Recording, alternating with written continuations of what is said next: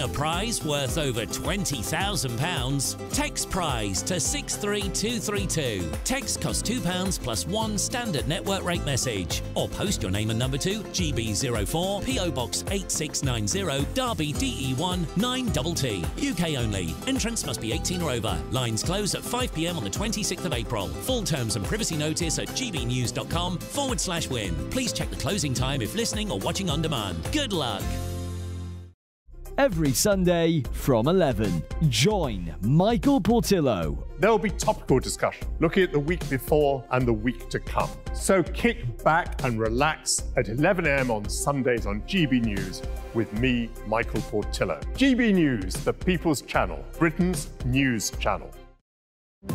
GB News is the home of free speech. We were created to champion it, and we deliver it day in, day out. Free speech allows us all to explore and debate openly the issues most important to us, our families, and of course, the British people. Having challenging conversations to enlighten each other. Which is why we hear all sides of the argument. We are the People's Channel.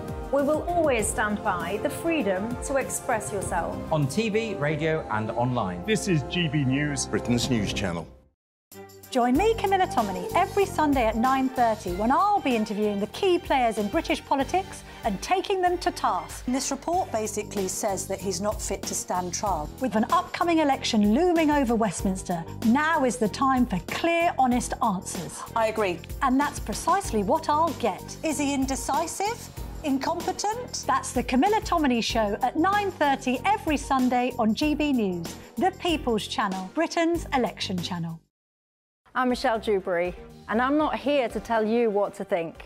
I'd much rather hear what you have to say. So send in your opinions to gbviews at gbnews.com. Keep them clean, and you never know, I might read them out.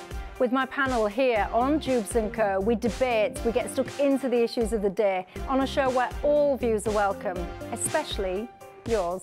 GB News, the People's Channel, Britain's news channel. I'm Jacob Rees-Mogg and this is GB News, Britain's news channel.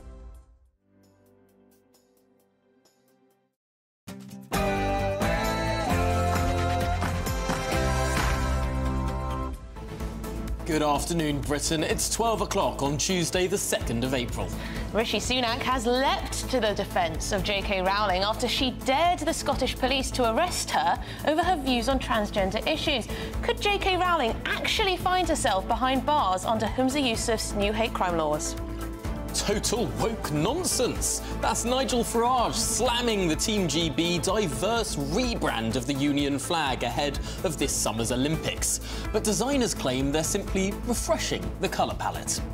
And Huw Edwards is expected to be named the BBC's highest paid newsreader, despite being off air for eight months following his suspension over a sex pic scandal. BBC bosses brace for backlash. Calls mount for a Ukraine-style visa scheme for Palestinians. 60 organisations are now calling on the Home Secretary to set up a special route. But should Britain open its arms?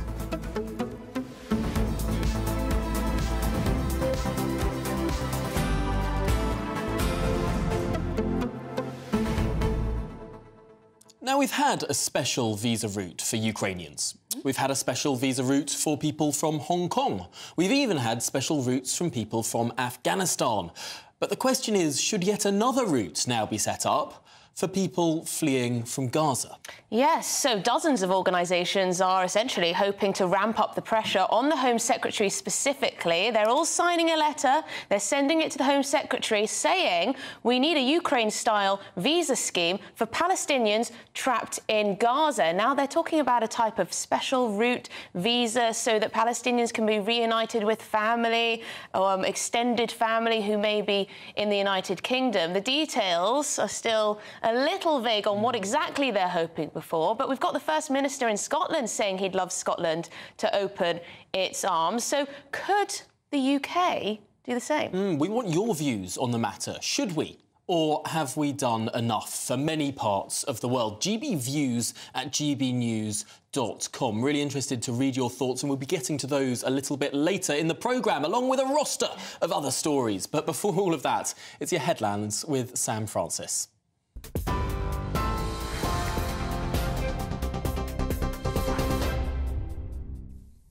Tom and Emily, thank you very much. The headlines at 12 o'clock.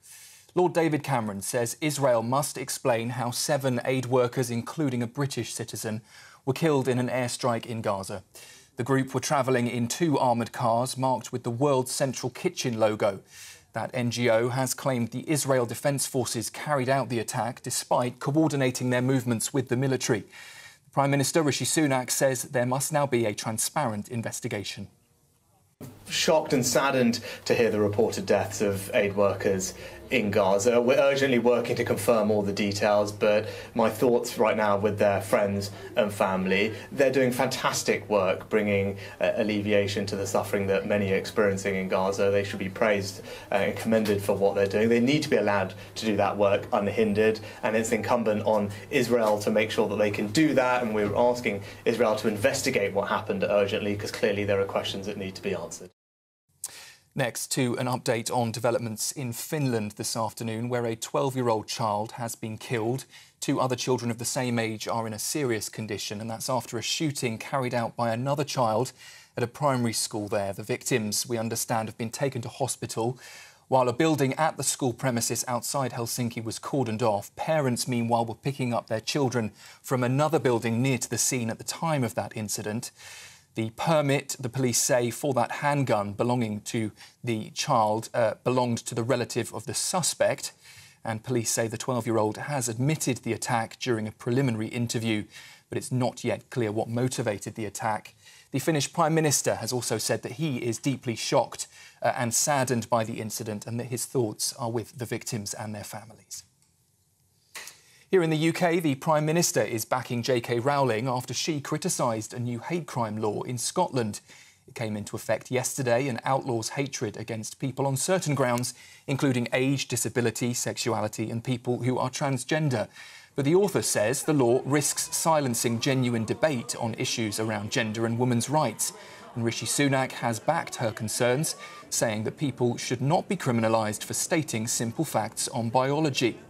Shadow uh, Minister Pat McFadden told GB News this morning that Labour has no plans to introduce any similar new hate crime laws if it wins the next election. We want proper enforcement of the anti hate crime laws that are there and make sure that the right penalties are in place to protect people. We're not planning to legislate for new crimes in this area, and I don't think J.K. Rowling should be arrested.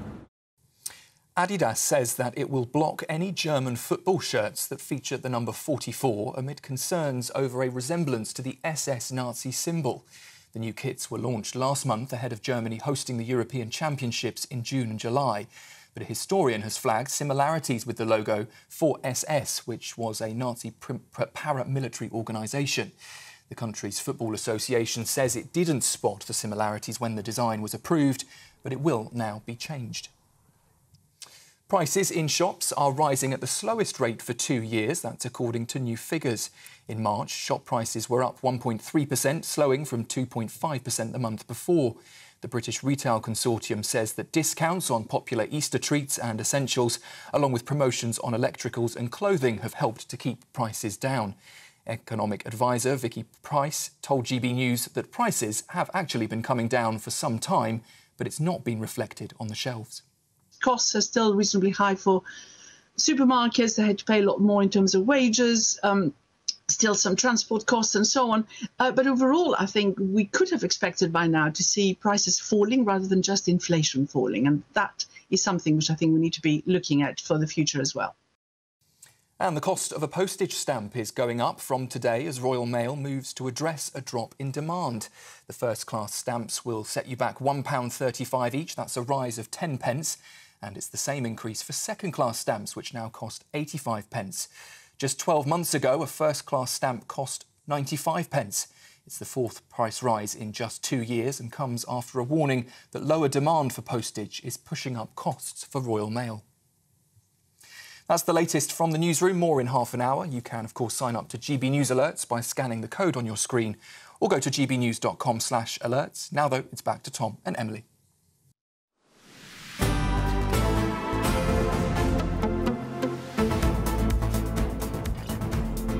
Good afternoon, Britain. It's seven minutes past 12, and leading the show today, J.K. Rowling has challenged the police to arrest her under Scotland's new hate crime laws, which took effect yesterday, creating a new offence, stirring up hatred against protected characteristics.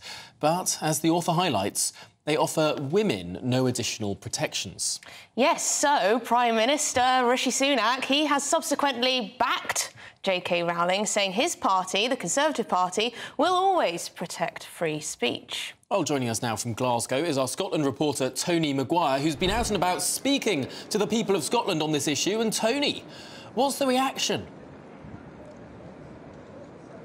Good afternoon. Well, certainly yesterday the, the anger and vitriol that we saw kind of poured out uh, that people's um, free speech rights were getting taken away from them has sort of given way to to the, the deeper questions of, of confusion. You know, what can I say, what can't I say, where can I can I speak my mind? Because you know the bill, as we have discussed at length on the channel, um, the the new legislation can reach right into people's homes. So fiery debates around the dinner table, down the pub, or certainly in the workplace, well, they can all be subject to a police investigation.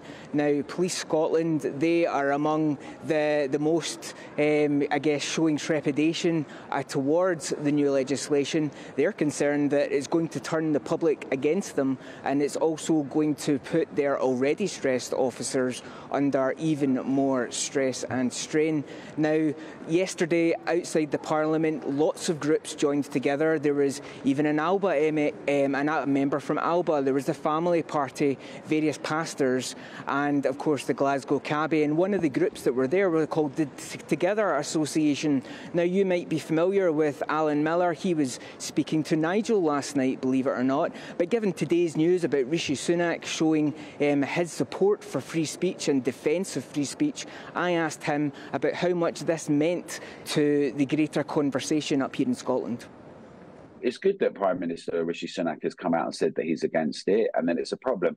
We should remember that's the same Prime Minister and the government that have, that have implemented the Online Safety Act, which has all sorts of controls and measures in terms of things that are said online.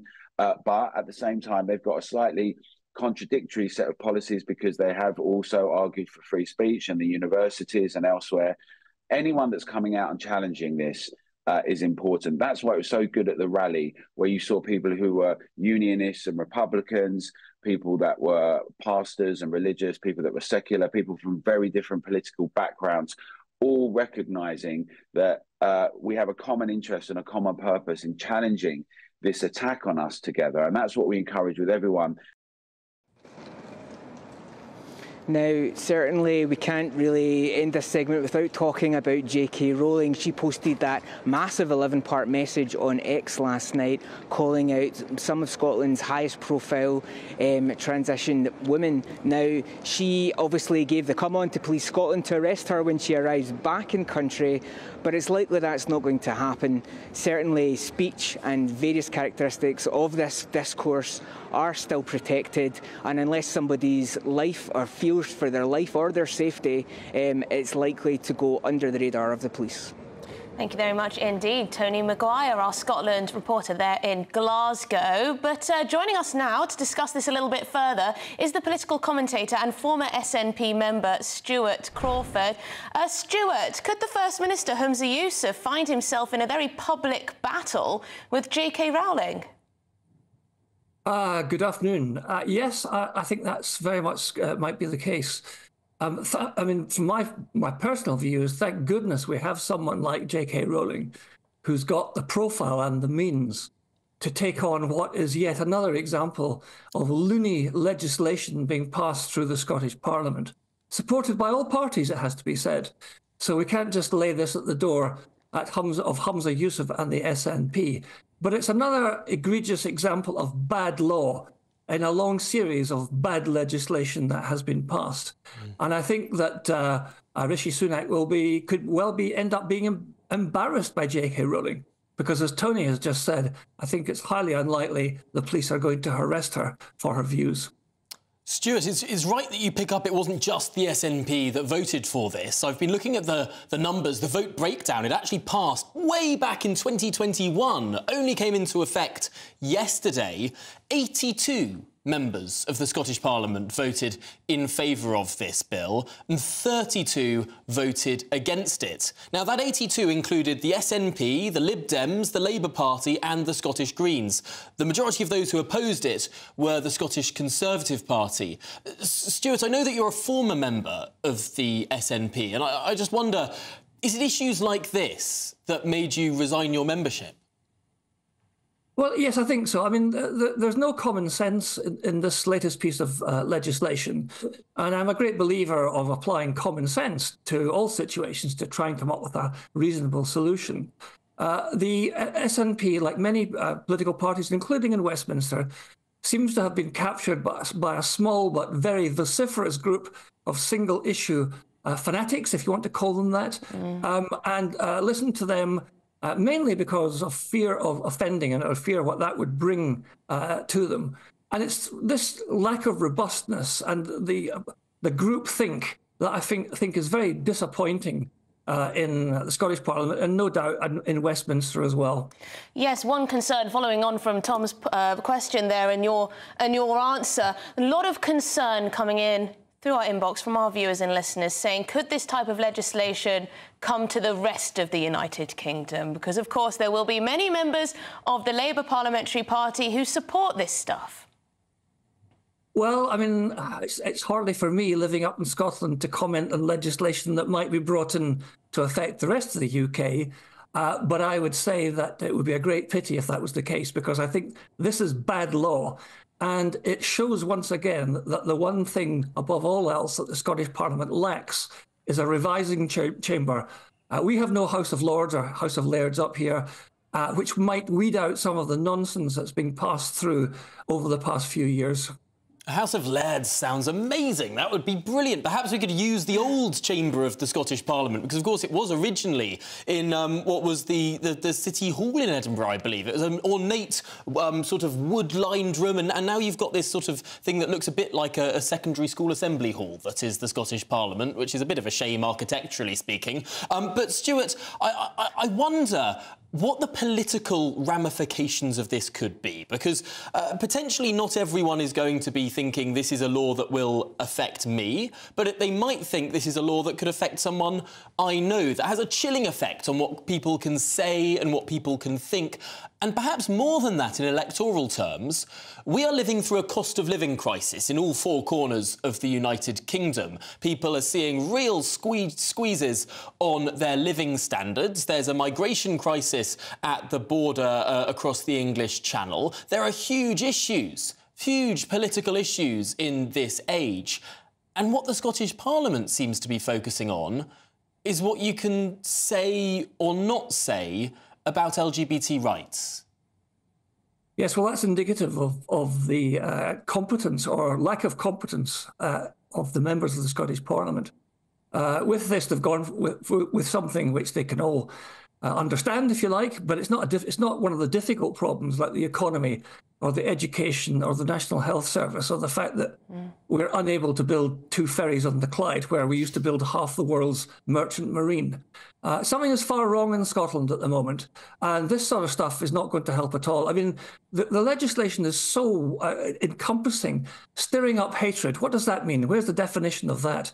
Insulting behaviour.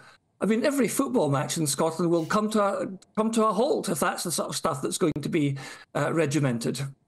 Yes, and of course it will all depend on what the police choose to focus their time on. And hmm. so many have warned, essentially, that this will waste huge amounts of resources on top of everything else. But thank you very much, Stuart Crawford. Great to get your view on all of this, political commentator and former SNP member.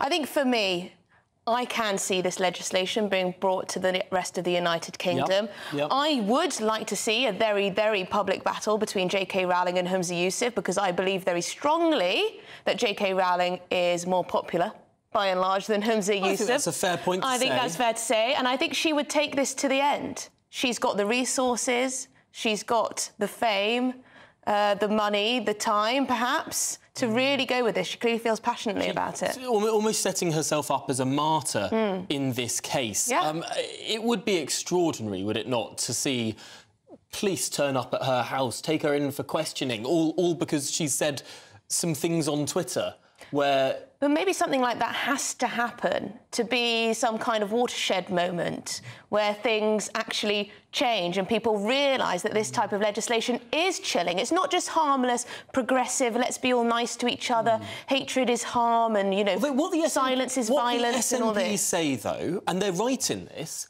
this isn't something entirely new No. in our law. There's something called Section uh, 127 of the uh, of the Malicious Communications Act, which does mean that if you say something that is um, malicious in a message, uh, you can be spoken to by the police. And there are examples of people who've made bad jokes on Twitter. Absolutely. Who have had suspended sentences handing out to them. There was the, uh, someone, I believe, in Scotland who made a joke about uh, Captain Tom Moore.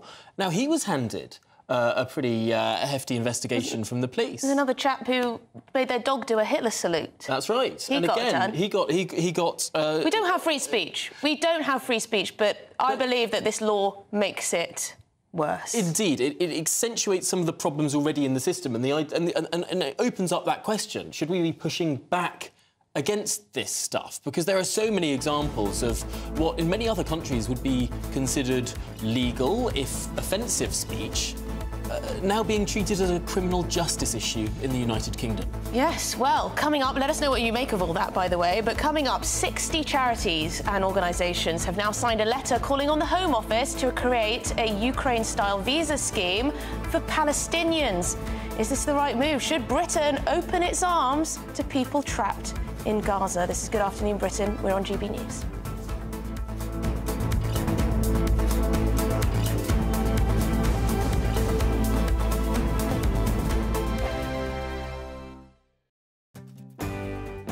I'm Patrick Christys. This is GB News, the People's Channel, Britain's news channel. Farage, Monday to Thursday from 7 pm. Serving police officers, showing that up to 20% of them are thinking about quitting the force and doing so within the next year or two. What on earth is going wrong? Problem, of course, is that those that go will be the experienced ones to be replaced by inexperienced ones. Kevin Hurley, former Detective Chief Superintendent at the Met Police, joins me from his home in Surrey. Kevin, this figure is shocking. The terms and conditions have really dropped off under Theresa May's what I would describe as an attack on the police service, where their pay has really dropped off, spending power down about 22% on what it once was. Worse still, the golden handcuffs, which were once the excellent police pension, have been taken away, and the pension is now much reduced. The other thing that's killing them is the constant media and activist battering for police officers. Off the back of that, one psychopath and the uh, the other, if you like, Tinder rapists, everybody now thinks the police are kind of all like. What that means for the individual patrol officers they're being given stick everywhere. For example, you know, their bosses left, right, and centre are rolling over. Oh, yes, we're institutionally racist. What that means for a 25 year old constable working in Balham High Street is everyone screaming at him, You're a racist pig. They get surrounded on the streets when they try and do a stop and search or an arrest. Add to that the fact that the criminal justice system is collapsing. They're tipping out the prisons with early releases. So, because of course there's no prison space, cases are taking years to get to court. They're getting derisory offences sentences because there's no room in the prisons. All of that's really demoralising for the police. Your weekend starts here with Friday Night Live with me, Mark Dolan, 8 till 9 on GB News. Big stories, big guests, and big laughs as we get you ready for a cracking weekend. That's Friday Night Live with Mark Dolan. Fridays 8 till 9 on GB News. Bring your own drinks. The admission's free.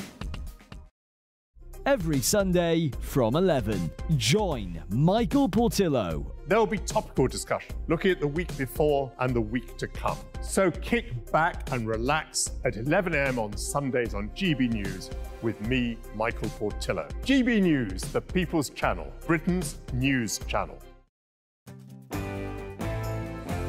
I'm Emily Carver. This is GB News, Britain's news channel.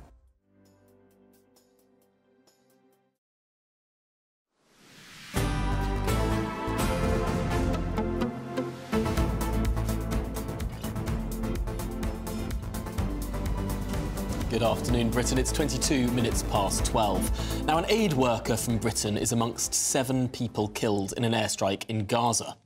Yes, the unnamed victim so far was travelling with colleagues in armoured cars and had informed the Israel Defence Force of their planned movements. Israel says they will investigate, um, but let's get some of the detail with our Home and Security editor, Mark White. Um, Mark, what do we what do we know? Well, this incident happened yesterday evening. The convoy of vehicles from the World Central Kitchen, WCK, uh, had apparently cleared this with Israeli authorities to run a route uh, on the Al Rashid coastal highway uh, in central Gaza, having picked up about 100 tons of aid from a ship that had come from Cyprus. And increasingly, uh, this particular aid charity has been working in and around Gaza. Uh, but at some point yesterday evening, uh, that convoy was struck, and we know that seven aid workers have been killed. Now, we're told that at least one UK national has been killed, although the uh, Foreign Secretary Lord Cameron, when he was speaking earlier, spoke about UK nationals plural. So we'll just wait till uh, we get more information on that. But other nationalities uh, involved are Australian, uh, Polish, dual nationals uh, from the US and Canada as well. Now, of course, uh, every single day there are many people uh, who lose their lives in Gaza. but any time that it involves citizens from other countries, then understandably, it gathers international attention. It has done uh, on this particular uh, occasion, but actually working as an aid worker in Gaza anyway is very dangerous, the most dangerous assignment in the world, we're told. Uh, today's uh, latest tally of uh, deaths in Gaza take the number of aid workers who've been killed uh, in that area to more than 200 since this war began. And it will be doubly difficult for Israel, I think. Um, it's carrying out an urgent review of what happened. It's not come out and denied it outright, which indicates it may well have been uh, an Israeli missile strike of some sort that was involved here. But it will be uh, embarrassing for Israel, not just because of the mistake, if that's what happened at the end of the day, but also because of this particular aid charity. Israel has been championing uh, this aid charity. They're very anti uh, UNRWA, the United Nations uh, charity uh, mm. that's working uh, out of Gaza at the moment. They claim that UNRWA have um, employed some 2,000 members of Hamas. Mm. So Israel has very significant problems with this United Nations aid agency and therefore has been trying to uh, get other charities in there and working. And one of them was this charity WCK. But now, with what has happened here, uh, this charity has suspended, for the time being at least, all operations in Gaza. It seems like it could have been a grave mistake indeed. But uh, Mark White, thank you very much for bringing us that uh, update there. And of course, there are questions now with regard to what is going on in what is undoubtedly one of the most dangerous corners of the world. Is it time, therefore, for the United Kingdom to support Gazan families evacuating? Yes, could schemes such as Homes for Ukraine be emulated? Well, that's what 60 charities and organisations are calling for. They've signed a letter calling on the Home Office to create such a scheme, a Ukraine-style visa for Palestinians. Now, the letter signed by the Refugee Council and Care for Calais and law firms and other organisations has called on the government to reunite families and provide special routes to safety in this country. Well, joining us now is the director of the Sanctuary Foundation, Dr. Krish Kandiah, and uh, he played a vital role in setting up the Ukrainian scheme.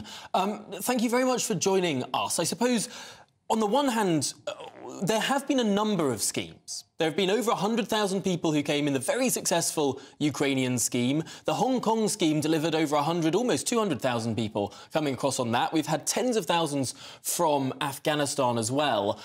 I suppose that the, the question becomes is there a limited amount of uh, capacity when it comes to taking refugees from various war zones around the world? Thanks, Tom. The, the UK has been incredibly generous. As you say, over 200,000 Ukrainians have come to the UK, most of whom have been put into people's homes. The British public have been incredibly hospitable. What this letter is asking for is similar to the Families for Ukraine scheme, which was Ukrainian families that are in the UK already offering hospitality to their family members. And we know there are many Palestinian families that would like to do that. Let me give you one example. Dr. Yusuf is a consultant radiologist in Liverpool.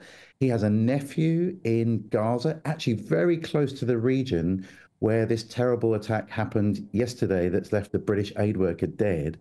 Um, this little boy, he's 13 years old. He's lost his entire family his mum, his dad, his brothers and sisters. This uncle is his only surviving relative. He's desperate to bring this little boy here to the UK and look after him. He wants to cover the costs. There's money to support that. The main issue is the visa. And I think that's what this letter mm. is asking that's completely that's completely understandable in, in that case, of course, that someone would want to be reunited with a family member who's trapped in Gaza, as Tom said, one of the most dangerous places in the world at the moment. But I've got to be honest with you, the vast majority of people getting in touch with us on this topic are saying, hang on a minute, how can we possibly know whether there are terrorist sympathisers who might use the route? This is one of the most dangerous terror hotspots in the world. What about national security? And also lots of people getting in touch saying, you know, we've done our bit. Can't we, can't other, you know, can't Arab states, for example, take in Palestinians? Similar cultures take in Palestinians? You know, why does it call on Britain to do so? In most refugee resettlements, the, the regional, the local region is the place that most people go. We're talking about a small number of people who have family here in the UK. And as you say, family is where you'd want to be if you'd experienced such trauma. There's such a terrible catastrophe going on. Krish, is it, is it, sorry to interrupt you, is it a small number? Do we have an idea of how many people could potentially um, apply for such a scheme if it were to exist? Well, we've been trying to get a very small number, just five children, again, lost their entire families. They have traumatic injuries, and we have hospitals willing to take them. And so far, there's been no willingness from the Home Office. We can set the, the boundaries here. It's up. To, it's in our gift to decide how many people will come. I think we just need to say we're a first world country. We're a strong economy. We need to play our part alongside regional responses. Uh, the, the, case study you raise is a really interesting one. I think it's one that very few people could disagree with, where uh, this is a fully funded place, someone wants to take in a direct family member, a child. Uh, all of these things seem to tick almost every box. Uh, I suppose the question becomes, are those the necessary boxes? i.e., does this should this in every case be a funded situation not through the taxpayer but through the family? Uh, and it should it only apply to children I don't think those are the uh, fundamental criteria. I think we're making it almost impossible, politically impossible, to oppose this. It's children. They haven't been involved in any terrorist activity. We can definitely vet these children. We're covering the cost, so it's not a financial burden on the government. But even then, there's no openness. And I think that's where things become morally difficult. How can we say no under these circumstances? Yes, I think the issue of vetting is. Um well, it's definitely there, and lots of people getting in touch concerned about that issue. But thank you very much. Really interesting to speak to you. Dr. Krish Kandiah, who is the director of the Sanctuary Foundation, and he played a, a vital role in setting up the Ukrainian scheme. No, I think, I think he makes a really fair point. And for those five children that seem to be funded and its direct family members, that would it seems bizarre that that's stopping. I think the concern hang on, for hang many on, people. Though, Tom, hang on. I think the concern for many people would be where does it stop? Is it just those five? And at what point does this place obligations on our health service and on housing rather than just But also room for family culturally, members. we've got a massive problem with anti-Semitism in this country. Could we potentially be adding to that? Uh, we've seen, we know how children, unfortunately, can be indoctrinated with this stuff in Gaza. Do we really want to be importing more of that? Um, potential hatred into this country. Of course, the risk that there's terrorist sympathisers along using the visa route. But yes, in the case of these individuals, but that's the problem with this type of policy, isn't it? Because you can Does always find you can always find cases where it would seem evil not to allow it to take place, but you've got to draw a line somewhere. I would suggest that helping humanitarily in the region would be the more sensible thing to do. But um, welcome all views, GB views at gbnews.com. Let us know what you make of it. We'll get to some of your views on this actually, because you've got lots of lots of opinions. Mm, absolutely. The inbox seems to be hotting up. But coming up, reports suggest that a plan has been launched to install a Liz Truss style Tory leader. But in what way and by whom? More on that after your headlines with Sam.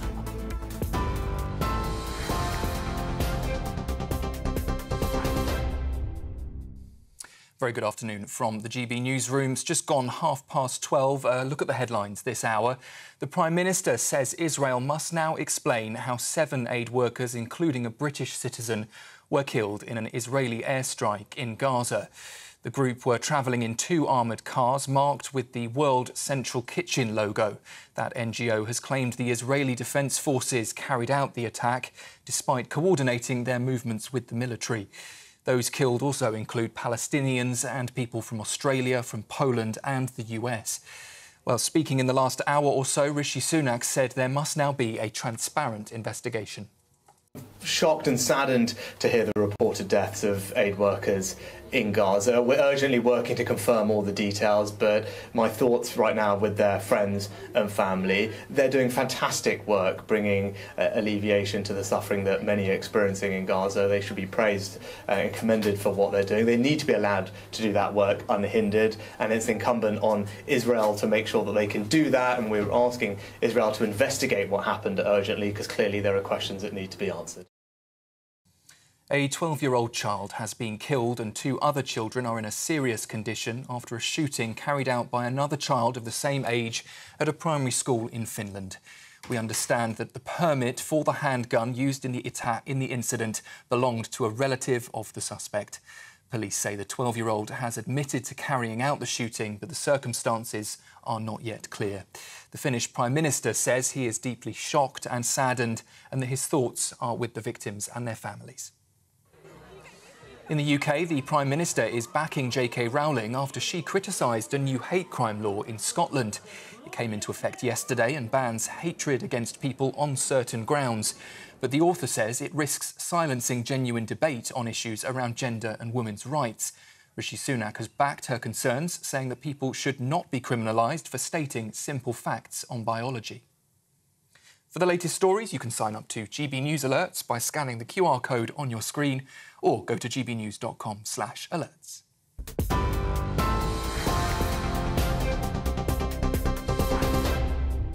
For exclusive, limited edition, and rare gold coins that are always newsworthy, Rosalind Gold proudly sponsors the GB News Financial Report. And here's a look at the markets this afternoon. The pound will buy you $1.2565 and 1.1693 euros. The price of gold is currently £1,798 and 54 pence per ounce, and the FTSE 100 is at 7,978 points. Rosalind Gold proudly sponsors the GB News Financial Report. The latest GB News travel. The anti clockwise side of the M60 is due into an earlier accident that's now on the hard shoulder at 14 through to junction 13 for Worsley. Delays to 17, even though all lanes have reopened. On the southbound side of the M6, a lane closure on the exit slip road to junction 29 for Lostock Hall. That's to a broken down vehicle, and traffic is coping well. Slow though for the southbound side of the M1, long delays to an earlier accident at 11A for Dunstable and Luton North through to junction 11, delays at Flitwick at junction 12. There's also ongoing roadworks adding to the time travel. And the eastbound side of the M4 has a lane closure on the exit slip road at junction 33 for Cardiff Western services to a broken down lorry. That's the very latest. You can stay up to date throughout the day by visiting our website, gbnews.com. Nana Akua, weekends from 3 pm. I like to call this one Robbing Peter to Pay Paul. The Labour Party have embarked on a journey that I can only describe as politics of envy. I think it's time we scrutinise their policies more closely and establish in our minds what a Labour government might mean to the education system. Sir Keir Starmer and his party have for far too long capitalised on the abject failure of the Conservatives and haven't really had to explain themselves. But as part of their manifesto, Labour intend to charge VAT at 20% on private schools because I suspect they think that people who send their kids there will stump up the cash no matter what, and that these people have money. They will then use this money, Labour, to fund state schools. Basically, they will rob Peter to pay Paul. But what I believe they've failed to realise, I'm not sure whether they've factored this in, is that many people who send their kids to private schools do so at great sacrifice and are in fact paying twice into the education system. I spent my first year of secondary education in a state school. I'll be honest, when I started, I was at the top of the class. But by the end of the year, I was near the bottom. But then my dad got promoted to a post on Wall Street in the States. My parents sent me to a private boarding school in the UK run by nuns, and my family moved to America. Thank God for the opportunity I was given to go private. At boarding school, I grew in confidence, and I'm here now because of it. My father's work, NatWest, and a loan my dad took out paid for my private education. We were nowhere near as rich as some of the kids there, but there are also many children, I would say at least half, whose parents were busting a gut to send them there. It is clear that the state education system is failing, but rather than robbing Peter to pay Paul, surely it would be better for the party to improve the state system without destroying the private sector.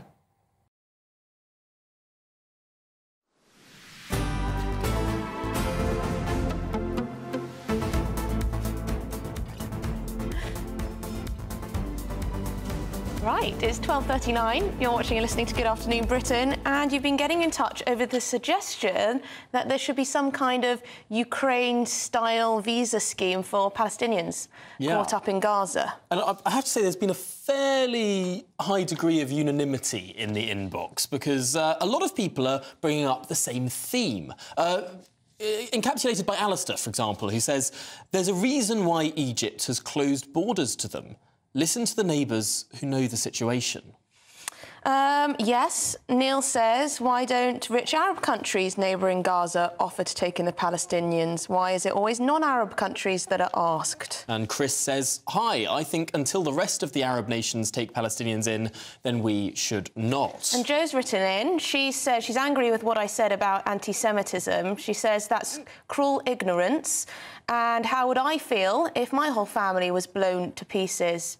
Um, and she goes on to call that comment repulsive. The, prob- the problem is, there's quite a lot of evidence to, to suggest that, that children in Gaza do receive indoctrination through their schooling about hating Jews. That's just you know, evidence. Look it up. That's not to say that the people in Gaza are not going through the most horrendous experience at the moment, and we should be giving humanitarian aid. We should be helping But we have people to remember with support. But that Hamas runs the government. Hamas runs the schools. Hamas is deciding what these children are taught. I've seen examples, I've seen videos of sort of school productions, school plays put on, Mm. where it's all about killing Jews. Th- this, is, this isn't fantasy. This is what's, what's going on. And I, I suppose it's one of the reasons why it's such a, a fraught conflict Yeah. in that part of the world. And it's just desperately, desperately sad. And I suppose the question is can people be unbrainwashed? Because I think it's fair to say a significant degree of, of the number of people living in uh, Gaza have sadly been brainwashed by the schooling that they've received.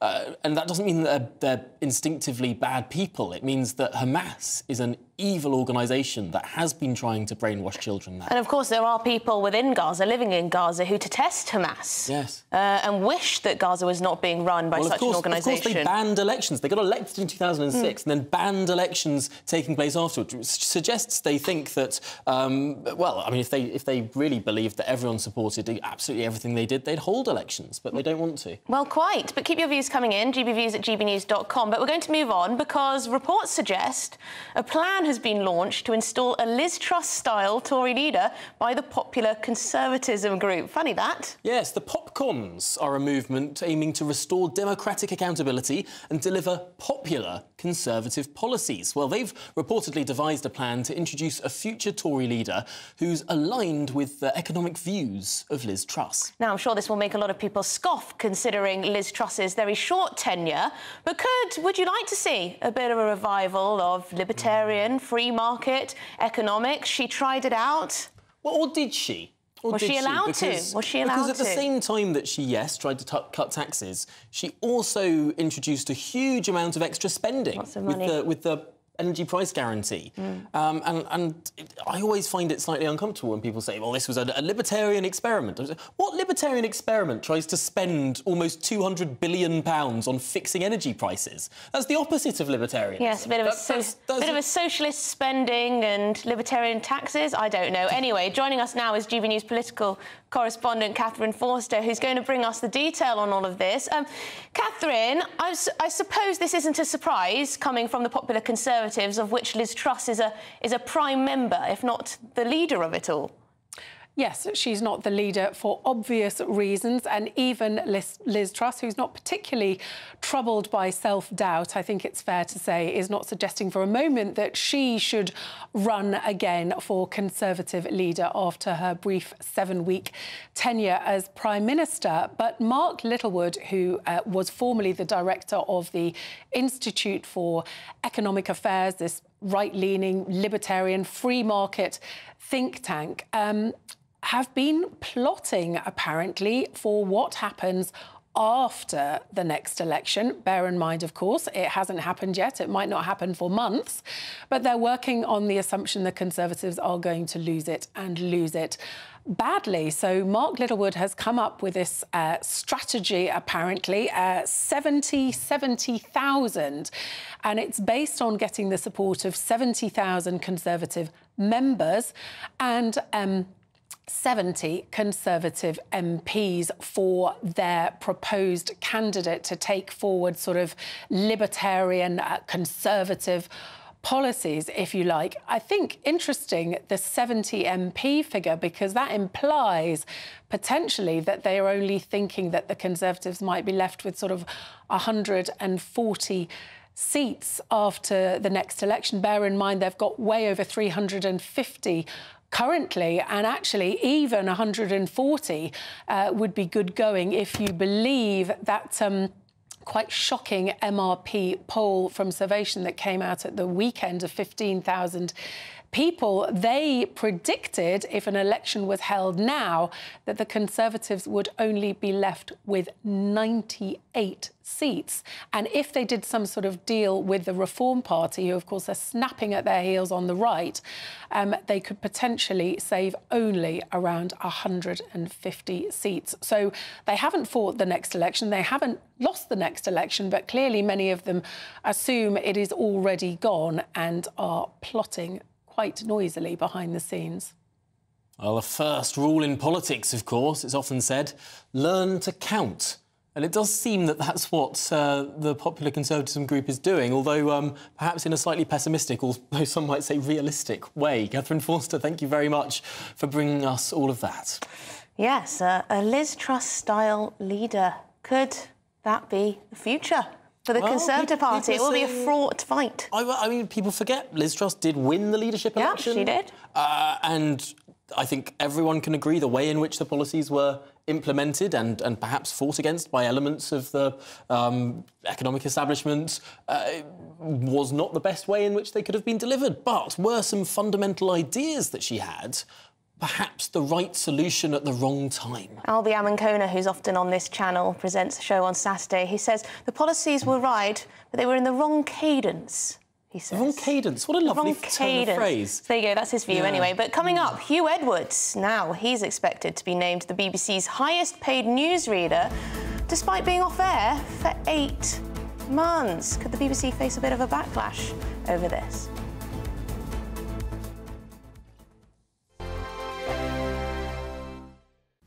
Welcome along to your latest weather update from the Met Office for GB News. For many, it's a fine looking day out there today, dry and bright. Many of us seeing some pleasantly warm, sunny spells. But there is some rain in the southwest from this area of low pressure and across the far northeast, northeast of Scotland. Under this weather front, seeing persistent rain across Aberdeenshire, cold wind blowing across Shetland as well. The breeze picking up in the southwest as the rain creeps in across Devon, Cornwall, parts of Somerset, and just getting into South Wales by the end of the afternoon. One or two showers in southern Scotland, maybe northwest England, but for large parts of England, Wales, Northern Ireland, it's a fine, bright afternoon and quite uh, warm in the sunny spells, 15, 16. Feeling cold though, with that wet weather lingering across uh, the northeast of Scotland. That uh, rain persists through much of the night, and further south, the rain will spread north. So most of us will see some wet weather through the course of the night. Some heavier bursts likely in parts of North Wales, northwest England. Doing pretty soggy too across the east and south of Northern Ireland. Temperatures mostly holding up in the single figures. 9, 10 degrees the low in parts of the south. But it's a soggy start to Wednesday for Northern England, Scotland, Northern Ireland. Uh, further rain and hill snow to come across the Grampians. Something a little drier in western Scotland and brighter conditions here. And it'll brighten up quite nicely too over the Midlands, South Wales and southern England. Some decent spells of sunshine through tomorrow afternoon, which could see temperatures getting up to 15, 16, maybe 17 Celsius. I think the most exciting bit for me is talking to people. People who I think are ignored often by the major news channels. We're going to give news they want to hear. There's a voice there that needs to be heard. I think there's a chance here for a diversity of opinion to be expressed, which you don't find elsewhere. It's really exciting. We don't hold back. We're free to say how decisions that are taken here affect us all around the country. Only on GB News, the People's Channel, Britain's news channel. Join me, Camilla Tominey, every Sunday at 9.30 when I'll be interviewing the key players in British politics and taking them to task. This report basically says that he's not fit to stand trial. With an upcoming election looming over Westminster, now is the time for clear, honest answers. I agree. And that's precisely what I'll get. Is he indecisive? Incompetent? That's the Camilla Tominey Show at 9.30 every Sunday on GB News, the People's Channel, Britain's election channel. I'm Michelle Dewberry, and I'm not here to tell you what to think. I'd much rather hear what you have to say. So send in your opinions to gbviews at gbnews.com. Keep them clean, and you never know, I might read them out. With my panel here on Dewbs & Co, we debate, we get stuck into the issues of the day on a show where all views are welcome, especially yours. GB News, the People's Channel, Britain's news channel.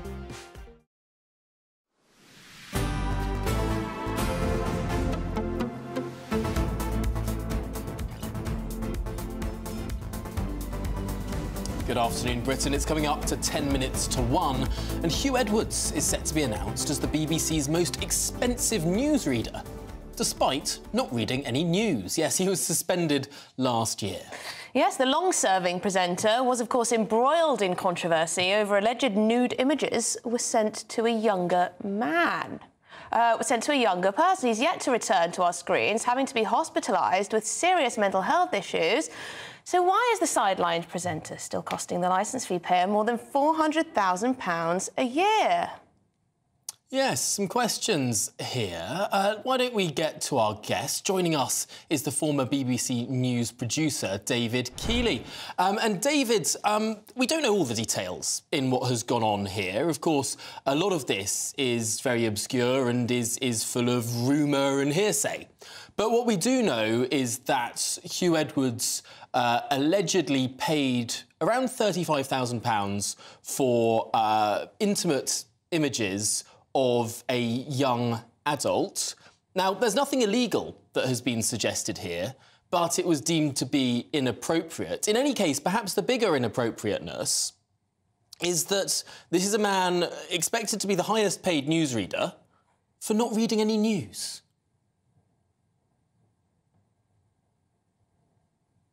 Indeed. And um, uh, the license fee payer is entitled to no more than they do at the moment, I think, is the bottom line here.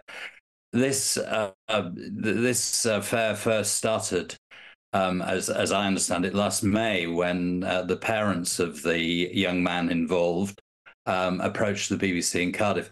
BBC have already admitted that they were very slow to pick this up. It was it was in, in July before it came to full attention of the senior management. Again, as as I understand it, but this is just classic BBC. I think they are very good at saying they are going to launch an investigation, but they always do it on their terms, in their own time, and in their own way. Now, of course, there's got due process has got to be followed here. Um, there are employment laws. Uh, I don't know what Huw Edwards' contract was, but at the bottom line, it comes down to what I said at the beginning. The license fee payer, um, learning that somebody has been off air now for the, all these months and is likely to be paid nearly um, half a million pounds for his services, but hasn't been on air, um, just needs to know what's gone on here.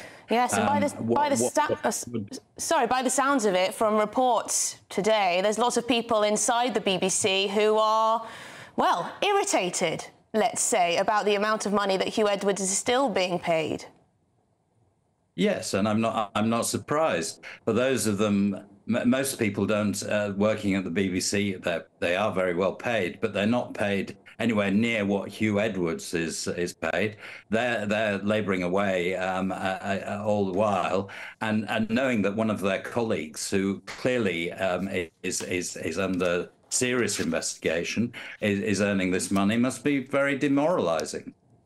Uh, is there any um, sort of means of recourse here? I mean, what, what can happen uh, in a situation like this? There will be uh, thousands of people paying licence fees solely to go towards funding someone who is not currently doing the job they're paid to do.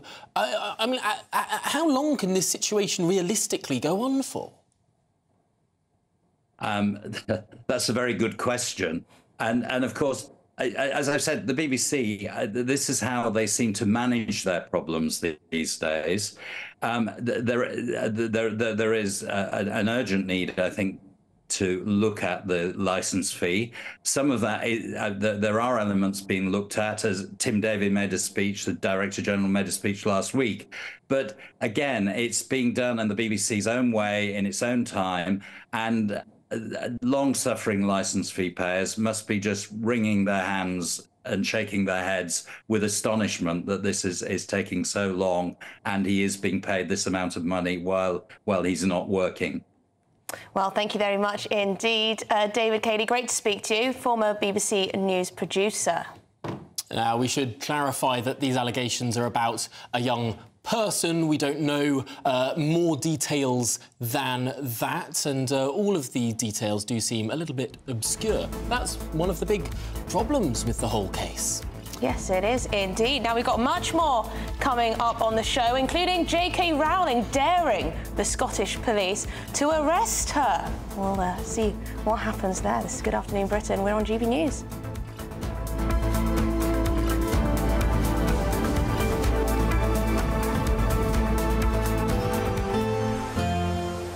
Brighter outlook with BOXT Solar, sponsors of weather on GB News. Hello, welcome to your latest GB News weather update brought to you by the Met Office. Across some central southern parts, there will be a bit of sunshine tomorrow, but otherwise it's looking pretty wet and there's some rain to come tonight as well. That's because we have an area of low pressure to the southwest of us, and that is driving a feature northwards as we go through the rest of today. So, ending the day across parts of Northern Ireland, Northern England on a mostly dry note, but rain in the southwest will feed its way across much of England, Wales, and into Northern Ireland overnight, with some persistent rain continuing across eastern parts of Scotland, bringing a bit of hill snow over the higher ground here. Temperatures not dropping much for many of us because of the unsettled weather, although a touch of frost is possible across the far north of Scotland. Many areas then waking up tomorrow morning to a pretty wet start and staying wet across northern parts with some further, at times heavy and persistent rain. Further south, though, a drier picture. Yes, there will be a few showers around, but we should also see some bright or sunny spells developing. In any sunshine, feeling pleasantly warm, highs of around 16 Celsius, but colder further north and feeling it in the wet and the windy weather here. Later on, as we go through tomorrow afternoon into the evening, a swathe of more persistent rain is going to affect parts of Devon, Cornwall, and into South Wales as well. Looking ahead through the rest of the week, and the unsettled picture does remain. In fact, it is likely to turn very windy by the end of the week, but temperatures rising could get to 20 Celsius by Saturday. Bye bye. That warm feeling inside from BOXT Boilers.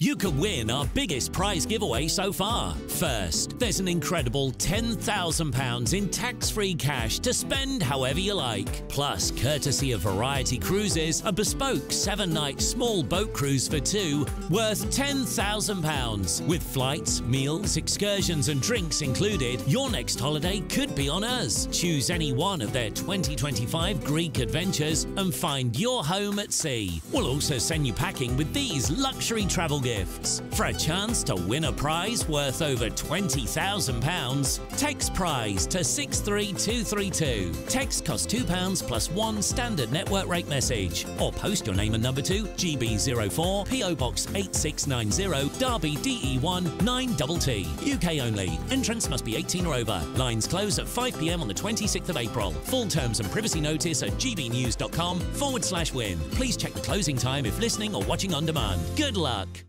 2024, a battleground year. The year the nation decides. As the parties gear up their campaigns for the next general election. Who will be left standing when the British people make one of the biggest decisions of their lives? Who will rise? And who will fall? Let's find out together. For every moment, the highs, the lows, the twists and turns. We'll be with you for every step of this journey. In 2024, GB News is Britain's election channel.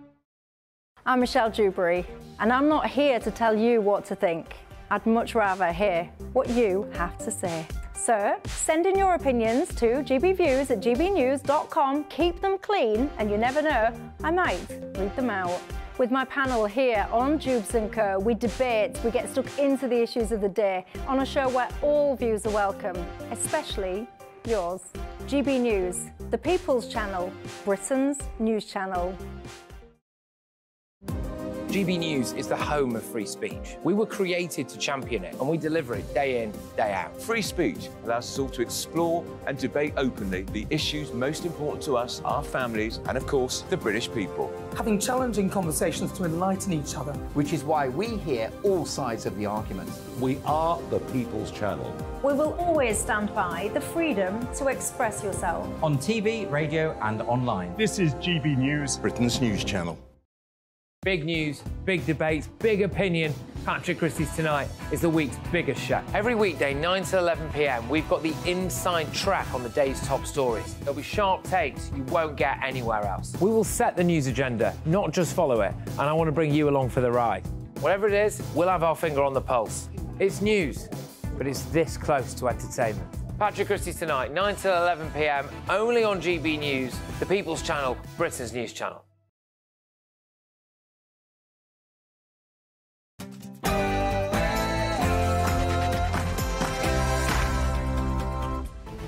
Good afternoon, Britain. It's one o'clock on Tuesday, the 2nd of April.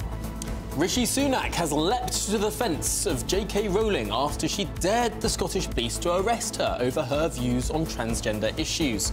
Could J.K. Rowling actually find herself behind bars under Humza Yousaf's new hate crime laws? It's possible.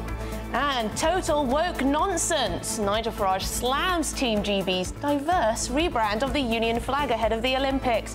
But designers, they claim they're simply refreshing the colour palette. And Huw Edwards is expected to be named as the BBC's highest paid newsreader this afternoon, despite being off air for eight months. This follows his suspension over a sex pig scandal. Well, BBC bosses brace for backlash. And our debate this hour should obese people pay a little more to use the National Health Service?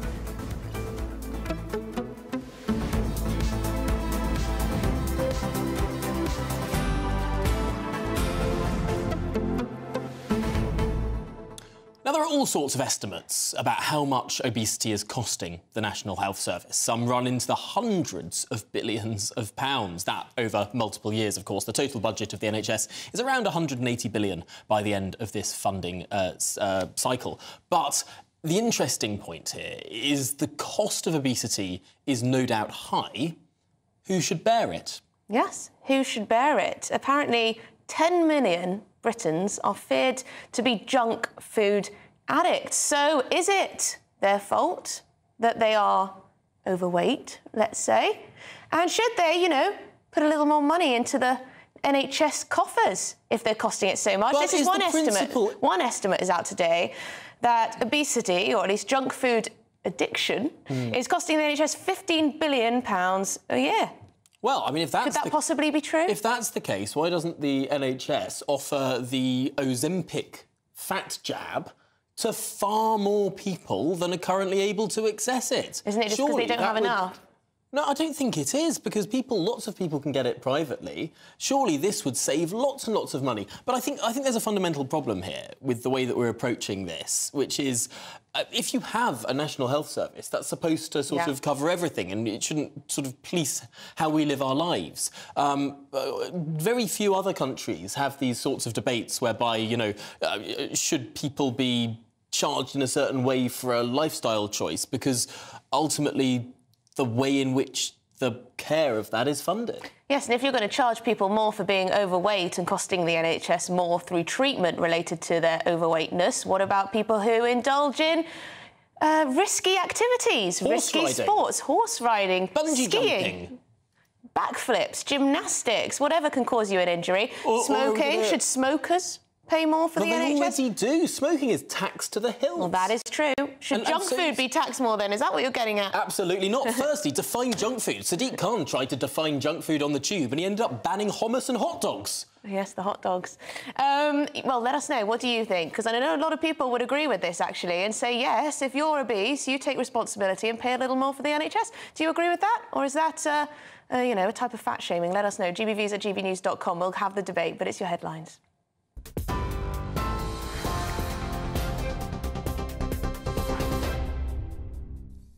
Tom and Emily, thank you very much and good afternoon from the newsroom. The latest headlines this lunchtime when we start in Israel, where the Prime Minister Benjamin Netanyahu says the killing of seven aid workers in Gaza in what appears to have been an Israeli airstrike was, he says, tragic and unintended. The group, which included a British citizen, were travelling in two armoured cars marked with the World Central Kitchen logo. That NGO has claimed the Israel's defence forces carried out that attack, despite coordinating their movements with the military there. Those killed also include Palestinians and people from Poland and the US. Rishi Sunak says there must now be a transparent investigation.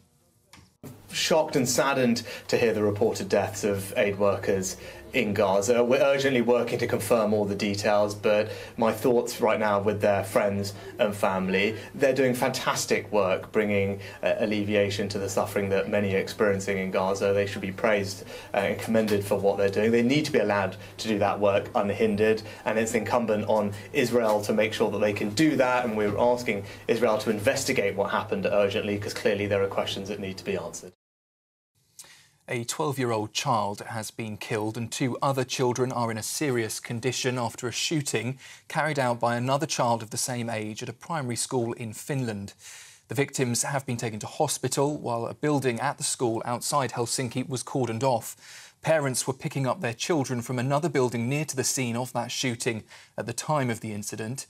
The permit for the handgun belonged to a relative of the suspect, and police say the 12 year old has admitted to the attack during a preliminary interview, but that it's not yet clear what motivated it.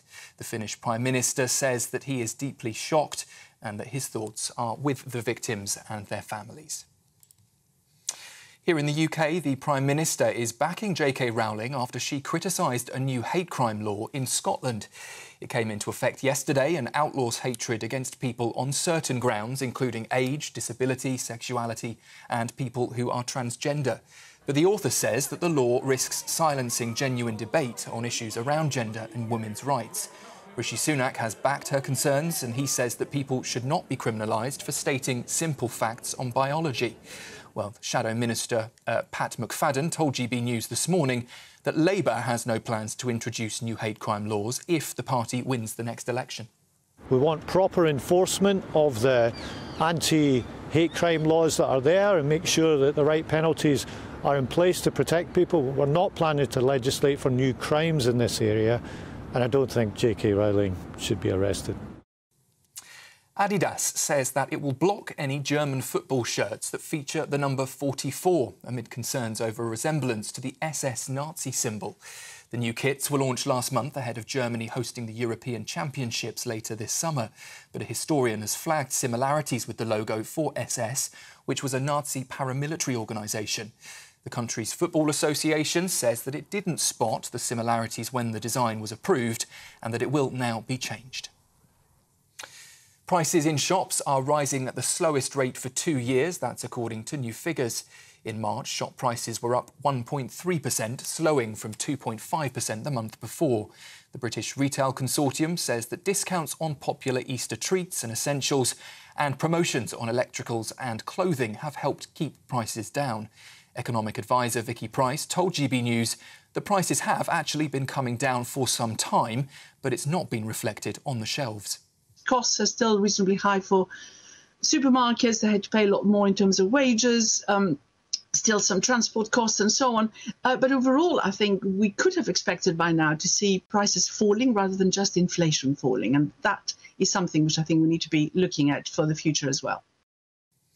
And the cost of a postage stamp is going up from today as Royal Mail moves to address a drop in demand.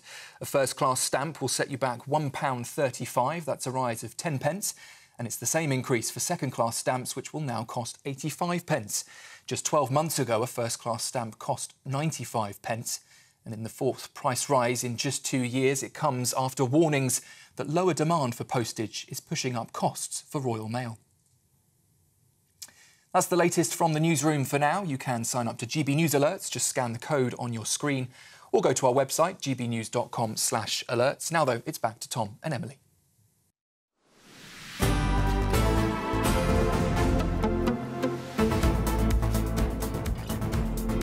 Good afternoon, Britain. It's eight minutes past one. And now the Prime Minister, Rishi Sunak, has leapt to the defence of J.K. Rowling after the author challenged the police to arrest her over new hate crime laws which took effect yesterday. Yeah, she's very much saying, bring it on, if you're tough enough. Now, the Prime Minister said the Conservative Party will always protect free speech, adding people should not be criminalised for stating simple facts on biology. So it seems like a little battle is going on between Humza Yousaf, the First Minister in Scotland, and Rishi Sunak. But let's speak to the former member of the Scottish Parliament now, Brian Monteith, because, Brian, uh, it's extraordinary to look at the numbers here. When this bill passed in Scotland, which was a couple of years ago, it only took effect yesterday, but a couple of years ago, 82 members of the Scottish Parliament voted in favour of it, and just 32 voted against. Uh, the Conservatives voted against it, but the SNP, the Lib Dems, the Labour Party, the Scottish Green Party all backed this bill, which now J.K. Rowling seems to be taking on in a very public way. Well, that's right. And I think it uh, would be an error to consider that Sunak is simply taking on the First Minister or the Scottish police.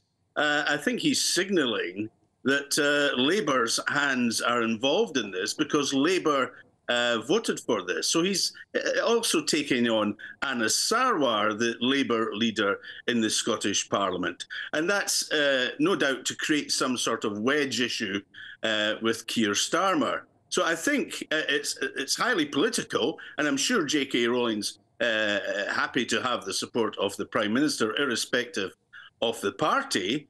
Uh, but there, there is bigger politics at play here, and I don't think it's enough for the Labour Party uh, at Westminster to say we won't do this in England. They've already supported it in Scotland, and they're not saying they're going to repeal it. I mean, it's a very real possibility um, that someone accuses J.K. Rowling of inciting hatred, stirring up hatred, this new offence, and the Scottish police do go after her. It's a very real possibility. Well, there is, uh, and J.K. Rowling essentially is saying uh, that telling the truth about biological sex is not a hate crime. I think she's got a very strong case there. Uh, the difference, of course, is that when people start talking about gender, uh, that they believe that that in some some way is a different subject that engenders hate. Uh, but you can't surely have a position where you want to talk, talk about biological sex and uh, and all the ramifications of that to protect women and women's spaces. Uh, and, and, and then be accused of hate crime when you've actually explicitly also said you have no animus uh, towards transgender people. Well, I suppose the issue with this legislation is that it's not on in the eye of a, a, neutral observer whether this gets investigated. It's not on the eye of the person who allegedly says the thing that is deemed to be stirring up hatred. It's on the eye not even of the person to whom that speech was directed at. Any casual observer of any interaction could say, those two people talking over there has offended me. Investigate it, please, Police Scotland and Police Scotland will be compelled to. They have to. And Police Scotland have said that they will, because they've said they will investigate every su such complaint. It does, uh, from the outside, uh, look really bad law. And there is, of course, also another uh, point of interest for the Prime Minister and indeed for parliamentarians at Westminster, in as much as there is conflicting opinion uh, as to whether or not people, for instance, saying or writing uh, something that is published on the internet uh, in England but is opened uh, and read in Scotland uh, could then be actionable against the person that made it. Uh, typing it in, in England, were they to, for instance, come to Scotland for the festival in Edinburgh or some such event? Uh, so, so I think there are wider ramifications that mean this does need to be debated uh, beyond just the Holyrood Parliament. But I go back to my first point. There's no obvious way of this this act being repealed because Labour was responsible for bringing it in too, and they're not saying they're going to support its, uh, it being repealed. Yes, it does look like it's here to stay, and no number of uh, protests will be able to change it quickly, will they? Um, thank you very much indeed, Brian Monteith, who is a former member of the Scottish Parliament. Of course, they're interesting to get his perspective mm. on all that. It, do you know the, the thing that slightly that slightly undermines all of this for me? Go on. Is that there is already UK-wide law now, it's not as wide reaching as the new Scottish law. The new Scottish law takes this much further than the UK wide law.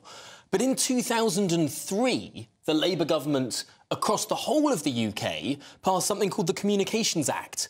And Section 127 of the Communications Act outlaws grossly offensive speech. And there have been examples of people who've been arrested for what's known as grossly offensive speech. There's someone who took to Twitter to make a, a grossly offensive joke about Captain Tom Moore and about British soldiers. He actually happened to be Scottish, making the tweet in Scotland. And, and he uh, was, was spoken to by the police. This went through the court. I just wonder what the motivation is for Humza Yousaf. Is it that he wants everyone everyone to live in harmony and for hatred to, to not exist? Or is there something more sinister about this whole thing, wanting con to control people as if they're his subjects? Well, it's been ratcheting up for many years. Uh, if it were up to me, this law in Scotland wouldn't exist, but neither would Section 127 and of the always remember that Act. speech. Lots of people pointing to that speech that Humza Yousaf made about uh, all the white people uh, that have senior roles. Um, some people might say that that was a little bit hate-filled. Mm. But uh, anyway, in other news, um, and this is an interesting one that resurfaces every now and again, a Labour peer wants to see the government stop the exploitation of illegal migrants by bringing back ID cards. Well, the idea of ID cards, anyway, of course, they were um, thought up by Tony Blair and then uh, never actually made it into law, but keep bubbling up every now and again. Of course, Lord Blunkett, who was the Home Secretary under New Labour, hopes that if his party get back into number 10, they'll raise this issue again and use ID cards to tackle the small boat crisis. Yes, once and for all. He says that without them, asylum seekers can avoid identification and avoid being sent to Rwanda and work within the UK illegally. So joining us now is former Home Office Minister Norman Baker. Norman, thanks very much. Um, ID cards, would that help in any way with the uh, migration crisis in the Channel? No, it wouldn't help at all. It's a, it's a complete red herring. Look, David Blunkett was the Minister, Home Secretary, who wanted ID cards brought in more than Tony Blair did. And of course, Tony uh, David Blunkett, by the way, Tom, was also the Home Secretary for the Section 127 of the Communications Act. And David Blunkett is quite authoritarian, quite a liberal, and in my view, wants far too much power for the state against the individual. Would it work? No, it wouldn't work. All it would happen, all it would do is drive people who come here further underground to get jobs where they don't need to demonstrate they have an ID card. They have to get a national insurance number anyway, they're going to work. So there's already some sort of safeguard there.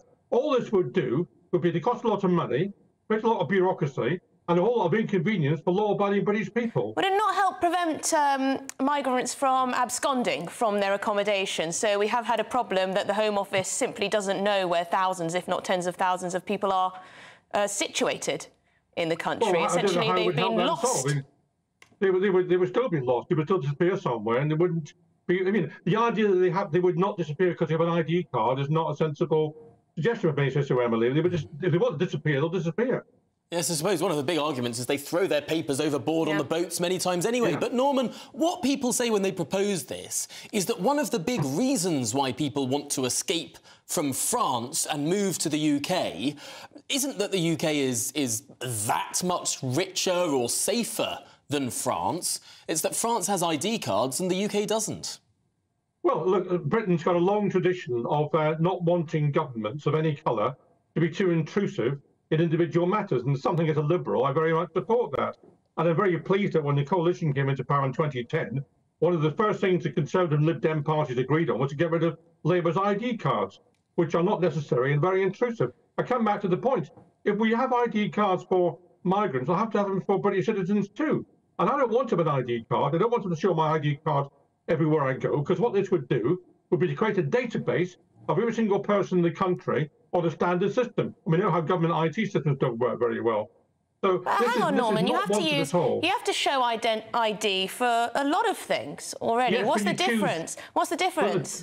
The, the, difference is you choose your ID as a passport, a driving license, a utility bill. There's not a central database of everybody on the same system. That's what's different about ID cards. And as you say, Emily, you can already deal with matters like that uh, with existing paperwork. You don't need something else on top. I think it's a, it's a really important point that there's uh, this, this move towards a much more centralised society. I, I, I, do sort of see where many people uh, reach for ideas like this, though. It does seem that there is a sense of, of a lack of control. And when you're following that mm. sort of narrative arc of control, you sort of do uh, often end up hmm. walking down the path of saying the state should have all the answers here. How do you respond to that sense that, that there is a lack of control in the channel and that naturally leads people towards answers like ID cards? Well, I mean, it, it's a non sequitur, Tom. I mean, the fact that there's boats coming in is not going to be solved by ID cards. I mean, the idea that someone's going to say, hey, I'm not coming to Britain because you've got ID card, it's simply not going to happen. Look, I mean, control is a very dangerous word. We've got plenty of control in Putin's Russia, plenty of control in Xi Jinping and China and Erdogan and, and Turkey. I don't want to live in societies like that. And mm. one of the great balances which, which had affected us for hundreds of years is the balance between the state and the individual. And as a liberal, I want the individual to be able to control their lives free of unnecessary government interference. Well, this is an interesting one in terms of whether Keir Starmer takes this proposal on board. It will prove whether he's liberal minded, yeah. cares about civil liberties, yeah. or whether he's, uh, you know, in favour of the state having more control yeah. in the form of ID cards. Very interesting one. We'll see if he speaks on this and any reaction from Keir Starmer himself. Thanks, Norman. Great to speak to you, former Home Office Minister Norman Baker. Norman Baker is so right to mention the hundreds of years old liberty tradition in mm. the UK. It, continental European countries had standing armies that could enforce laws. We never had a standing army in Britain. What did we have? We had a navy. The Navy stopped external threats but couldn't control our own populace. Liberty within our country, protecting us from invaders without. Strong Navy, no standing army. That's the British tradition. Escaping fascism. Anyway, coming up 10 million Brits are junk food addicts. Could they really be? Could they really be? But should they be charged more to access healthcare in this country? A controversial one. We'll have the debate.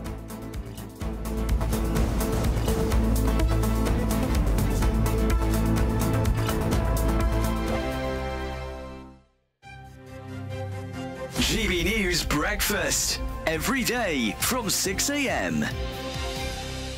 He's a genius. We know he's one of the few geniuses in the world. We have Mozart, we have perhaps Leonardo da hmm. Vinci. He's a mm. genius. Of course, he's worth uh, they- worth, worth studying. But, Chris, did they not think that Ben Jonson wrote some of his works? Well, that's interesting, isn't it? Some people say that. There's lots of there's lots of people out there who, who will question who wrote the plays. What's really important, of course, is the quality of the writing. And I, w- can I just add, I have some sympathy for my opponent in this debate because I'm afraid he's going to have to justify something which many people will disagree with. But good luck to him. But I think we all know Shakespeare was Well, a genius. I'm sure my Let's friend hear here from as well. Ryan. This is Ryan Mark Parsons, who's a former star of The Apprentice. Tell us Mm. more, Ryan. Well, I agree with the other guests. I'm not denying Shakespeare's cultural relevance and significance in history. I mean, I admire Shakespeare. But I guess in terms of his relevance, if you were to define relevance, that, well, the Oxford Dictionary says it's appropriate to the time, context, and circumstances. And I think there's an argument to be had about whether Shakespeare is relevant in 2024. Let's just look at the language that he uses. It's extremely archaic. It's almost elitist because you have to have studied his works in order to understand the plays in which he wrote. So I want to tear my hair out when you say that. I mean, Well, you it's know, he true. survives for 500 years and then the Gen Zers chuck it up the wall. And you say it's not relevant. Oh, he's more relevant than ever because what Shakespeare does tells us about human nature. The human nature in the 16th century was no, or the 17th century, it was no different from today. You know, if you're looking at Vladimir Putin's headlines today, well, read Julius Caesar. It's just the language can be difficult, but that's good because we need to stretch children. We need to present children with things which challenge them. Don't always make life easier for children. No, make them stretch them a little bit. I'm Andrew Doyle. Join me at 7 o'clock every Sunday night for Free Speech Nation, the show where I tackle the week's biggest stories in politics and current affairs with the help of my two comedian panelists and a variety of special guests. Free Speech Nation, Sunday nights from 7 on GB News, the People's Channel, Britain's news channel. Your weekend starts here with Friday Night Live with me, Mark Dolan, 8 till 9 on GB News.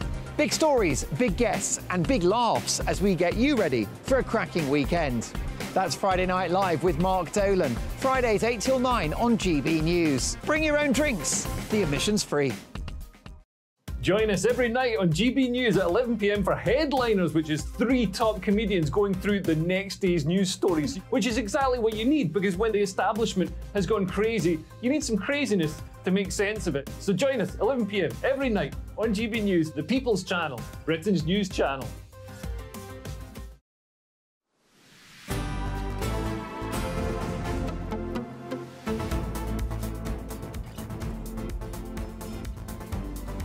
It's 1.24 in the afternoon. Now, reports suggest that 10 million of us, Brits, are now hooked on junk food, addicted to junk food. And as a result, it's costing the NHS an eye-watering 58 billion pounds a year. I find that very hard to believe, given the entire budget of the NHS is around 170 to 180 billion pounds a year. Yes, I saw an estimate that of would be a more third like of the entire budget. I saw an estimate of more of like 15 billion pounds a year, which of course is still very high. We don't know exactly how they work this all I out. can, I can believe that 58 billion is the number that it's costing people Mm. through the country, not just the NHS, but perhaps buying all the food or, or uh, making adjustments to their own lives and all the rest of it. Oh, we've got some Santas wearing face masks there on the screen. Uh, chocolate Santas, of course. Well, junk food, as it's known, although there's no official definition of what junk food is, but it's cheap and widely available, and 61% of us Brits say that the cost of living has affected our healthy eating habits in some way. Yes, ultra-processed food addiction is not currently recognised for clinical diagnosis. Because it doesn't exist. I think you can go to Overeating Anonymous. I'm sure you can. Overeaters Anonymous. Come on, an addiction to processed food. I mean, it's ridiculous. I think it could be real. Not real. Could be real. Not real. Could be real. No. But research research suggests it is real, Uh, putting unsustainable pressure on the NHS. So, should junk food addicts and the obese be made to pay more for healthcare in the UK if it's costing us so much? Yeah, that's the debate we're having, not whether there's addiction or not. Um, that, that debate was clearly settled and won by me. Um, but, uh, reckon, reckon. Yeah, no, the debate we're having is should obese people pay more for their healthcare in the United Kingdom? Joining us is the broadcaster and columnist Lizzie Cundy, who says yes, they absolutely should. And the actor and body positive influencer George Keywood, who says they should not. Well, Lizzie, let's start with you. You want the change. Why should obese people pay more to use the NHS? Because, as you said, it is costing us 58 billion. We have an obesity epidemic. 40% of adults in the UK are obese. One in five of children. It's out of control and something needs to be done. And if you're not going to be responsible for what you are putting in your mouth, I'm afraid there are consequences. And I do feel sorry for, you know, I have a friend who's obese and, and it is really, really tough and difficult, but you have to help yourself. And I think some of the, you know, the, the fast food chains are, have to be held responsible. I even think actually we should have like they do on, on smokers with all lung disease, show what it can do to your body because fast foods is actually poisoning your whole body and then sadly you can get addicted to Hang on, junk hang food. on, Lizzie. If I like have a or not, cigarette, that is yourself. definitely bad for me. If I have a burger, I can have that in moderation and not have bad effects. I don't know. I saw you eat four donuts last week. I'm, afraid burgers, you'll lower your life expectancy. They have bad fat. Fats, their, their hormones pumped in. Your body thrives on food, but f- for the good, like medicine. If you're putting junk into your body, I'm afraid you're going to have the artifact and you're going to get not just, you know, it's a knock on effect to diabetes, you know, heart disease, and many other problems, which is very, very frightening. Well, a, a strong pitch there from uh, Lizzie. George, what do you say? Obesity is costing the NHS huge amounts. Why shouldn't those who are carrying extra weight to a dangerous, dangerous extent pay a little bit more? I I don't know why I should have to cover the cost. I mean, l- let's look at it realistically. Like, I I pay what thirty to fifty thousand pound in income tax per year. Okay, I pay for private healthcare and I go to private GPs. So why should I have to pay more money to cover a bill for obese people as a whole? I feel like that's touching discrimination at some level. What Um, about I if you were using know, the NHS, George? What about if you were using the NHS? You say you're using private healthcare already. Yeah, well, either either way, in an emergency, I'm going to be using NHS, aren't I? Like anyone would. Um, but I think what you've got to look at here is how many people are drunk on a Friday, Saturday night and end up in A and E. You know, we've got to look at how many people are drinking and how many people are smoking, because I pretty much guarantee you the number will be more shocking than what it is of the obese people. I think obese people and fat people are a target. And people love to use them as a target. They love to say, well, it's the fat people's problem. It's their fault. It's their fault that it's costing this much. It's their fault that it's this problem and whatever. It's not their fault. Okay, they're just sucked into the advertising campaigns by McDonald's and KFC and all the rest of them. You know, they're, they're, they're feeling down in themselves. So what they do is they eat and they comfort themselves. You know, my dad died in 2016. And what did I do? I, I drunk, smoked, done it all, you know, and stuffed my face as well alongside that. I think people have different ways of coping with life, uh, especially looking at coronavirus. I mean, Jesus, we're all stuck in our houses. What do you do? You eat. you know, But, but you George, you shouldn't take. But if we, if, if if not pay more for healthcare, shouldn't we take a bit Hmm. more care over ourselves? You, people, people. If if during during lockdown, for example, some people chose to eat more, some people chose to take up running. Well, look, I'm on a weight loss journey myself at the moment, and I've lost a fair bit of weight myself. I think it takes for the person to want to do it themselves, um, which is the problem, you know, because a lot of people are stuck in that in that moment where they're still eating, and they're not at the point where they've realised how much of an issue it actually is. Um, Right, so should we just go back to Lizzie mindsets. now because we're, we are Hmm. short on time? But Lizzie, that point that why tax people who eat more? Why not people who drink more, or, or even people who who ride horses? That's a dangerous activity that ends up in hospital Look, I- sometimes. Also being dangerously underweight. Those who are dangerously I'm underweight. not saying excessive excessive drinking is good, but what we're dealing with facts here, and obesity is is out of control, and it is putting huge pressure on the NHS, which is in a mm-hmm. shambolic state as it is, and they can't afford to go on like this. And you have to re- be responsible for yourself. You have to be responsible if you exercise and what you put in your mouth. And I think people need to be educated educated to know that the pizzas, the burgers, the fast foods are really killing yourself. You, you've got your body thrives on live, good food, and this is not good nutrition. And people need to be educated without a doubt but we can't keep going on like we are. 58 billion to the NHS. It is it's out of control, and I'm really sorry, but something needs to be done. Well, strong stuff. Thank you very much. Great to get both sides of that debate. George Keywood and Lizzie Cundy. Great to speak to you both. I should say we we use two different figures in this discussion and both are valid. So the 58 billion pounds is the combined cost of obesity to the Treasury to the NHS and to the Department of Work and Pensions and the economy as a whole. That's a projected cost.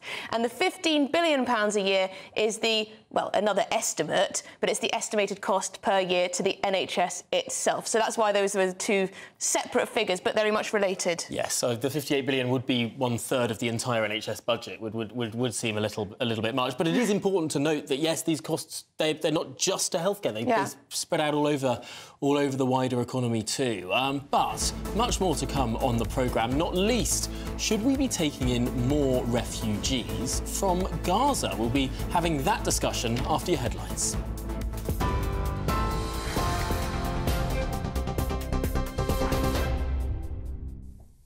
Very good afternoon from the GB newsroom. It's just gone 1.30, the headlines this hour. Israel has now confirmed one of its own airstrikes in Gaza killed the seven people are working in the region, with the Israeli Prime Minister describing it as tragic and unintended. The group of seven aid workers, which included a British citizen, were travelling in two armoured cars marked with the World Central Kitchen logo. The NGO has claimed the Israeli Defence Forces carried out the attack despite coordinating their movements with the military. Those killed also include Palestinians and people from Poland and the US. Rishi Sunak has said there must now be a transparent investigation. Shocked and saddened to hear the reported deaths of aid workers in Gaza. We're urgently working to confirm all the details, but my thoughts right now with their friends and family. They're doing fantastic work bringing uh, alleviation to the suffering that many are experiencing in Gaza. They should be praised uh, and commended for what they're doing. They need to be allowed to do that work unhindered, and it's incumbent on Israel to make sure that they can do that. And we're asking Israel to investigate what happened urgently because clearly there are questions that need to be answered. A 12 year old child has been killed and two other children are in a serious condition after a shooting carried out by another child of the same age at a primary school in Finland. It's understood a permit for the handgun belonged to a relative of the suspect. Police say that 12 year old has admitted to carrying out the shooting, but the circumstances are not yet clear. The Finnish Prime Minister says he is deeply shocked and that his thoughts are with the victims and their families. And in the UK, the Prime Minister is backing J.K. Rowling after she criticised a new hate crime law in Scotland. It came into effect yesterday and outlaws hatred against people on certain grounds. But the author says it risks, risks silencing genuine debate on issues around gender and women's rights. Rishi Sunak backs those concerns. He says that people should not be criminalised for stating simple facts on biology. For the latest headlines and stories, you can sign up to GB News Alerts by scanning the code on your screen or go to gbnews.com slash alerts.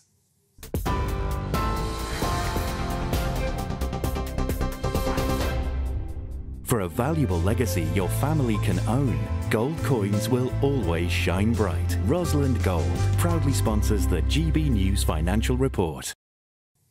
And here's a look at the markets this afternoon. The pound will buy you $1.2566 and 1.1692 euros. The price of gold is currently £1,795 and 93 pence per ounce, and the FTSE 100 is at 7,968 points.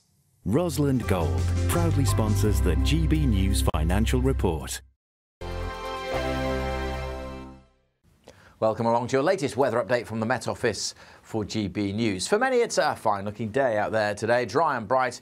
Many of us seeing some pleasantly warm, sunny spells. But there is some rain in the southwest from this area of low pressure and across the far northeast, northeast of Scotland. Under this weather front, seeing persistent rain across Aberdeenshire, cold wind blowing across Shetland as well. The breeze picking up in the southwest as the rain creeps in across Devon, Cornwall, parts of Somerset, and just getting into South Wales by the end of the afternoon. One or two showers in southern Scotland, maybe northwest England, but for large parts of England, Wales, Northern Ireland, it's a fine, bright afternoon and quite uh, warm in the sunny spells, 15, 16, feeling cold though with that wet weather lingering across uh, the northeast of Scotland. That uh, rain persists through much of the night, and further south, the rain will spread north. So most of us will see some wet weather through the course of the night, some heavier bursts likely in parts of North Wales, northwest England. Doing pretty soggy too across the east and south of Northern Ireland. Temperatures mostly holding up in the single figures. 9, 10 degrees the low in parts of the south. But it's a soggy start to Wednesday for northern England, Scotland, Northern Ireland. Uh, further rain and hill snow to come across the Grampians. Something a little drier in western Scotland and brighter conditions here. And it'll brighten up quite nicely too over the Midlands, South Wales and southern England. Some decent spells of sunshine through tomorrow afternoon, which could see temperatures getting up to 15, 16, maybe 17 Celsius. The latest GB News travel. Hello, I'm Jules Buckley. There's a big queue building towards Edinburgh, the eastbound M8 from the M9 junction 2 to Hermiston Gate at junction 1, a lane blocked. A queue's building there is due to a collision. But there's a police incident on the M61 that's blocked both ways between Chorley at 8 and the Horwich turnoff at junction 6, causing big queues. Southbound M6, Knutsford 19 down to Middlewich at 18, slow going. A collision means a lane shut and delays. Also southbound M6 before Nuneaton at 3 the inside lane's coned off again. There's a collision there. Southbound M1 11A down towards 11 around Luton are still queuing back to Flitwick at 12, not helped by the ongoing roadworks there. And there was a collision earlier on, although that delay in the roadworks is starting to ease off. And for now, that's your very latest. You can stay up to date throughout the day by visiting our website gbnews.com. I'm Michelle Dewberry, and I'm not here to tell you what to think. I'd much rather hear what you have to say. So send in your opinions to gbviews at gbnews.com. Keep them clean, and you never know, I might read them out. With my panel here on Dewbs & Co, we debate, we get stuck into the issues of the day on a show where all views are welcome, especially yours. GB News, the People's Channel, Britain's news channel.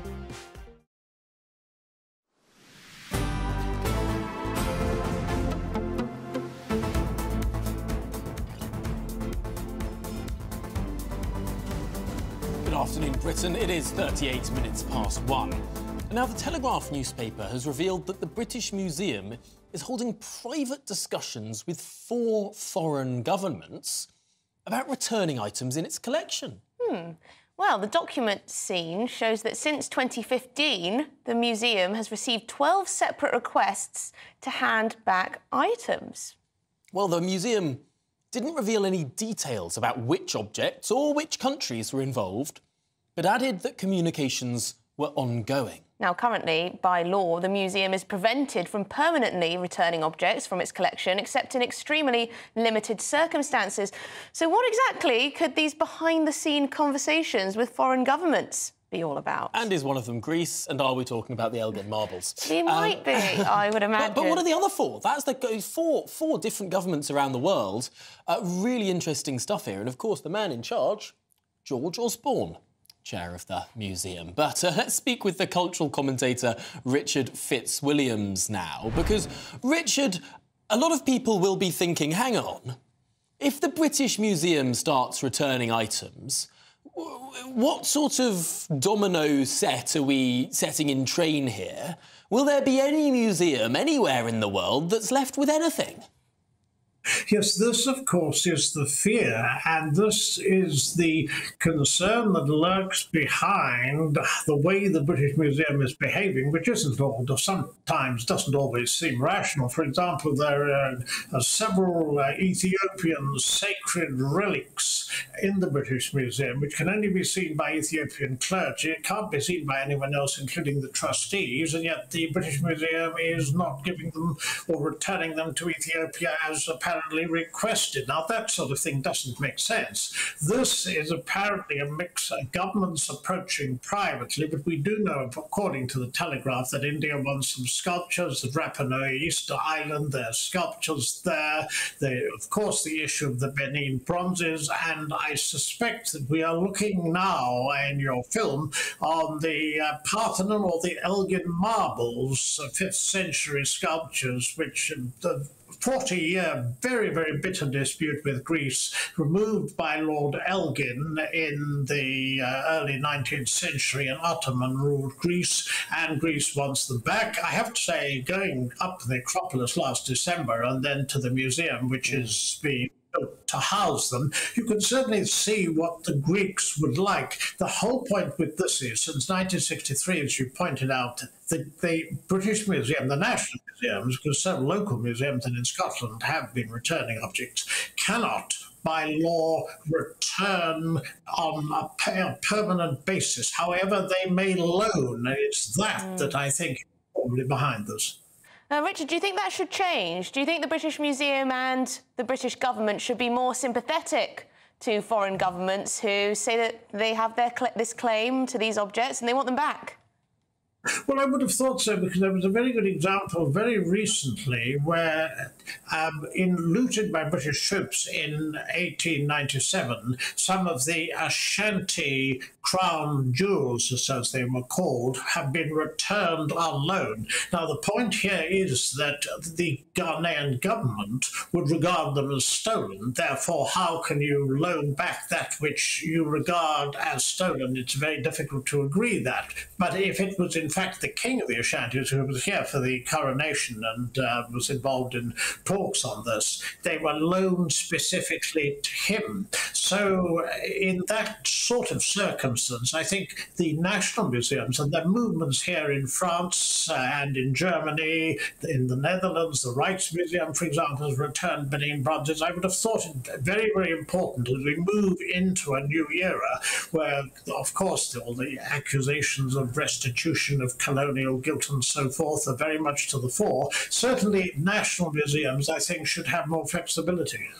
But what, what do we gain from this? Just, just purely, let's let's set aside any questions of, of colonial guilt or anything like that. Just on a pure cost-benefit analysis, if we're giving away treasures that Britain has had in many cases for hundreds of years before any of us were born, if we're giving them away, what do we get in return?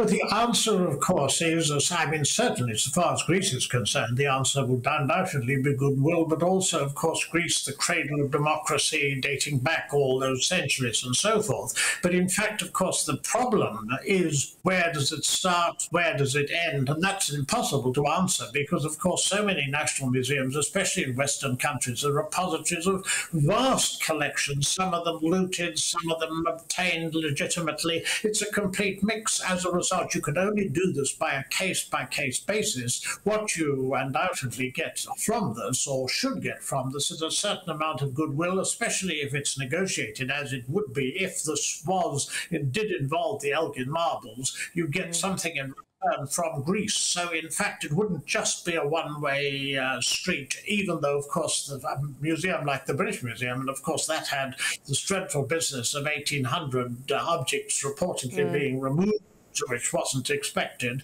um, you would have some sort of quid pro quo where you wouldn't suddenly, because this would be ridiculous, the British Museum meant emptying its uh, collections. That would be out of the question. I don't know. I see that happening. I see that happening. So many claims to the artefacts that are in the British Museum. You could have a bit of an emptying out, couldn't you? And why stop there, though? Why stop? Why why give them to a central museum of another country? Why not return them to the precise locations from which they came? No museum anywhere should ever exist because it's moving things from one place to another by necessity of having it in a place where, in which people can view it. Richard, we're going to have to leave it there. Really great to get your take on all this. We'll speak to you again, I'm sure, about this. Um, Richard Fitzwilliams, cultural commentator. It's funny your question that you asked about what do we get in return? No, this isn't about getting anything in return. Goodwill. What can you do with That's- goodwill? They, you know, these countries say these artefacts were stolen and they should be returned to their rightful Greece place. didn't exist in the early 1800s. It uh, was, it was a portion of the Ottoman Empire. Well, we're not just talking about the Elgin marbles. We're it? not just talking about the Elgin marbles. But wh- wh- where I would certainly agree with you is that this is a slippery slope, and I do not particularly want the British Museum, which has looked after these goods, although weren't a few things nicked.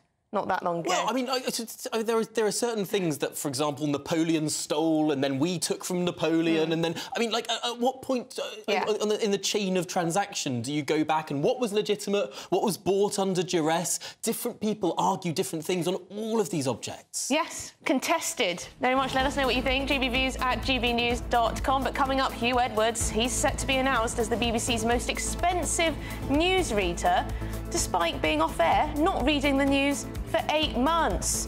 BBC licence fee payers. Good use of their money.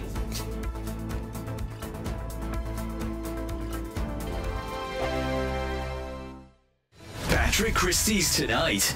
Weekdays from 9 pm. Has the NHS killed your relative and then lied to you about it? There is an alleged cover up culture in the NHS. They lie to you about why your loved one died, about poor care, then bury documents with evidence in them, and they try to silence staff who speak out. This is according to the NHS Ombudsman. There are around 11,000 avoidable deaths every year. 11,000. Someone's mum dies, their children know something dodgy happened, and then they're met with a rotten culture, including the altering of care plans, the disappearance of crucial documents, and complete denials. They lie to you, but they really get away with it because the NHS is like a religion, and people dare not criticise it. You'd be accused of NHSophobia. That annual budget is around £180 billion, and we now have about 2 million people working for the NHS. They cannot keep blaming everything on being underfunded and understaffed. If they're covering up medical negligence, it means the problem doesn't get dealt with and it keeps happening. And that is the fault of the NHS managers, the people who run it. They've got the money for 837 non clinical staff working at English hospitals on the highest paid Band 9 contracts, which is between £99,000 and £115,000 a year. How many nurses would that pay for? How many junior doctors? And they've got the time on their hands to think about making the NHS the world's first carbon neutral health service. They've got time to consider whether women in labour should be picked up by an electric ambulance that might have to be recharged en route to the hospital. There are NHS managers with a budget of £180 billion, 2 million members of staff, and they're crying about being understaffed and under resourced. If they spent more time looking after patients instead of finding ways to cover up avoidable deaths, then maybe we'd have a better health service. 2024, a battleground year. The year the nation decides. As the parties gear up their campaigns for the next general election. Who will be left standing when the British people make one of the biggest decisions of their lives? Who will rise? And who will fall? Let's find out together. For every moment, the highs, the lows, the twists and turns. We'll be with you for every step of this journey. In 2024, GB News is Britain's election channel.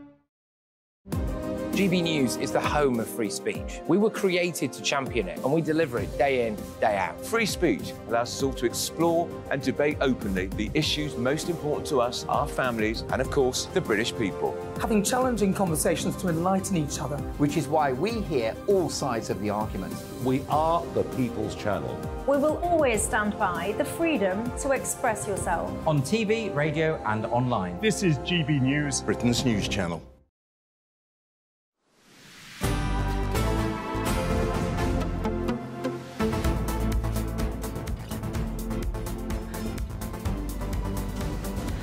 Well, Huw Edwards is set to be announced as the BBC's most expensive newsreader, despite being suspended last year. Yes, being paid for not reading the news. Well, the long serving presenter was embroiled in controversy after allegedly uh, there were payments for nude images from a younger individual. He's yet to return to our screens, having been hospitalised with serious mental health issues. So we're asking just why is the sideline presenter still costing the licence fee payer potentially more than £400,000 a year. This is quite extraordinary. Let's pose that very question to former BBC royal correspondent Michael Cole. Uh, Michael, lots of people will be a little bit aghast at the sum that he's still being paid despite not doing his job. Good afternoon, Emily. Good afternoon, Tom. This is symptomatic of the waste that is endemic within the bureaucratic BBC precisely at the time it's put up the license fee by an inflation busting sum to £169.50, a license fee that uh, more people are ignoring, uh, and it's down to the honest people like you and me uh, to pay this sum. Uh, I wonder how uh, Huw Edwards, who we see there, uh, squares this with his conscience. He's a much advertised church going Presbyterian Christian, um, and um, he's taking money for nothing. Uh, it, it, says in the Bible, uh, a labourer is worth his hire, which was quoted by Geoffrey Chaucer later. But uh, what in the case when the labourer is actually not labouring, but actually leaning on his shovel? Uh, and that has happened for a considerable amount of time, as you've just said, Emily. This goes to the absurdity, I repeat it, the absurdity of the BBC paying Hollywood sums to people who are not worthy of those huge salaries. There are 100 people within the BBC and broadcasting generally who could do that job. When I was at the BBC, I was there for a fifth of its existence. Newsreaders like Richard Baker, uh, Kenneth Kendall, Robert Dougall, Moira Stewart, they were all staff announcers on staff contracts, very modest sums of money, a fraction of what Huw Edwards is being given. Uh, it is absurd because it's a false marketplace. Uh, those people who are getting these sums from the BBC could not go anywhere else, and I say that on the record, and get such huge sums of the license payers' money, our money. No, it is extraordinary. Just a tenth of the salary allegedly being paid to Huw Edwards would be a very good salary indeed. And yet, here he is on 10 times that. But, but I suppose here, Michael, uh, to, to mount a defence, Huw Edwards has not been accused of any crime. Indeed, the police investigated and said no crime had been committed. This is uh, a, a man who has allegedly paid money for legal pictures from an albeit young adult. He is now uh, suffering serious mental health problems. Uh, is there not a moment here for compassion? Yeah, you've summed it up perfectly.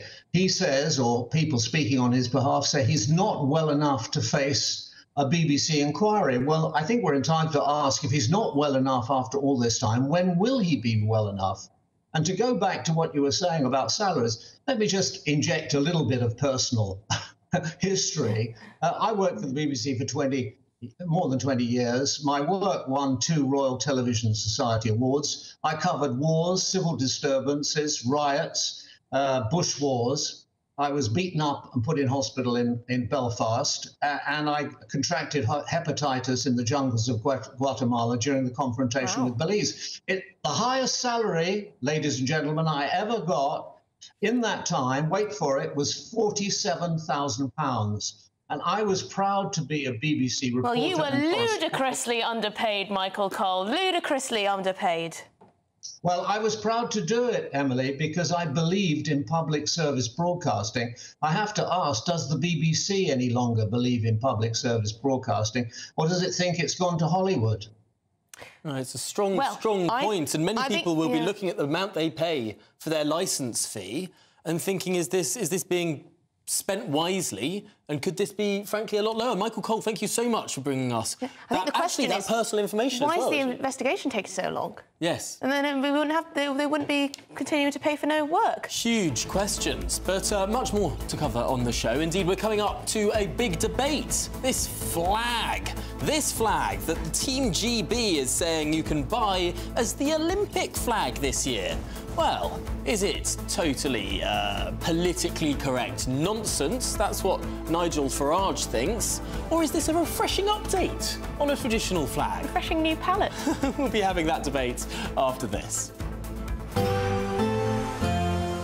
A brighter outlook with BOXT Solar, sponsors of weather on GB News. Hello, welcome to your latest GB News weather update brought to you by the Met Office. Across some central southern parts, there will be a bit of sunshine tomorrow, but otherwise it's looking pretty wet, and there's some rain to come tonight as well. That's because we have an area of low pressure to the southwest of us, and that is driving a feature northwards as we go through the rest of today. So, ending the day across parts of Northern Ireland, Northern England on a mostly dry note, but rain in the southwest will feed its way across much of England, Wales, and into Northern Ireland overnight, with some persistent rain continuing across eastern parts of Scotland, bringing a bit of hill snow over the higher ground here. Temperatures not dropping much for many of us because of the unsettled weather, although a touch of frost is possible across the far north of Scotland. Many areas then waking up tomorrow morning to a pretty wet start and staying wet across northern parts with some further, at times heavy and persistent rain. Further south, though, a drier picture. Yes, there will be a few showers around, but we should also see some bright or sunny spells developing. In any sunshine, feeling pleasantly warm, highs of around 16 Celsius, but colder further north and feeling it in the wet and the windy weather here. Later on, as we go through tomorrow afternoon into the evening, a swathe of more persistent rain is going to affect parts of Devon, Cornwall and into South Wales as well. Looking ahead through the rest of the week and the unsettled picture does remain. In fact, it is likely to turn very windy by the end of the week, but temperatures rising could get to 20 Celsius by Saturday. Bye-bye. That warm feeling inside from BOXT Boilers, sponsors of weather on GB News.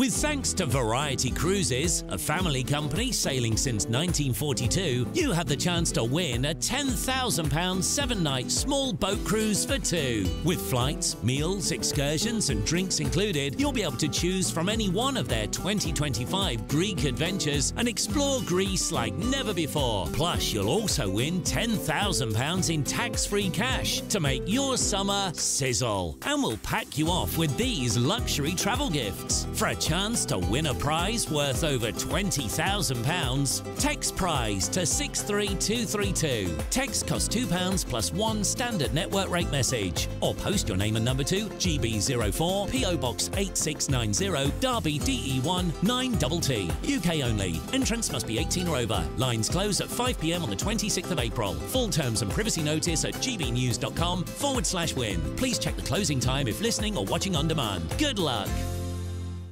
Big news, big debates, big opinion. Patrick Christys Tonight is the week's biggest show. Every weekday, 9 to 11 pm, we've got the inside track on the day's top stories. There'll be sharp takes you won't get anywhere else. We will set the news agenda, not just follow it, and I want to bring you along for the ride. Whatever it is, we'll have our finger on the pulse. It's news, but it's this close to entertainment. Patrick Christys Tonight, 9 to 11 pm, only on GB News, the People's Channel, Britain's news channel. Your weekend starts here with Friday Night Live with me, Mark Dolan, 8 till 9 on GB News. Big stories, big guests, and big laughs as we get you ready for a cracking weekend. That's Friday Night Live with Mark Dolan. Fridays 8 till 9 on GB News. Bring your own drinks. The admission's free. Every Sunday from 11, join Michael Portillo. There'll be topical discussion, looking at the week before and the week to come. So kick back and relax at 11am on Sundays on GB News with me, Michael Portillo. GB News, the People's Channel, Britain's news channel. I'm Andrew Doyle. Join me at 7 o'clock every Sunday night for Free Speech Nation, the show where I tackle the week's biggest stories in politics and current affairs with the help of my two comedian panelists and a variety of special guests. Free Speech Nation, Sunday nights from 7 on GB News, the People's Channel, Britain's news channel. Join me, Camilla Tominey, every Sunday at 9.30 when I'll be interviewing the key players in British politics and taking them to task. This report basically says that he's not fit to stand trial. With an upcoming election looming over Westminster, now is the time for clear, honest answers. I agree. And that's precisely what I'll get. Is he indecisive? Incompetent? That's the Camilla Tominey Show at 9.30 every Sunday on GB News, the People's Channel, Britain's election channel.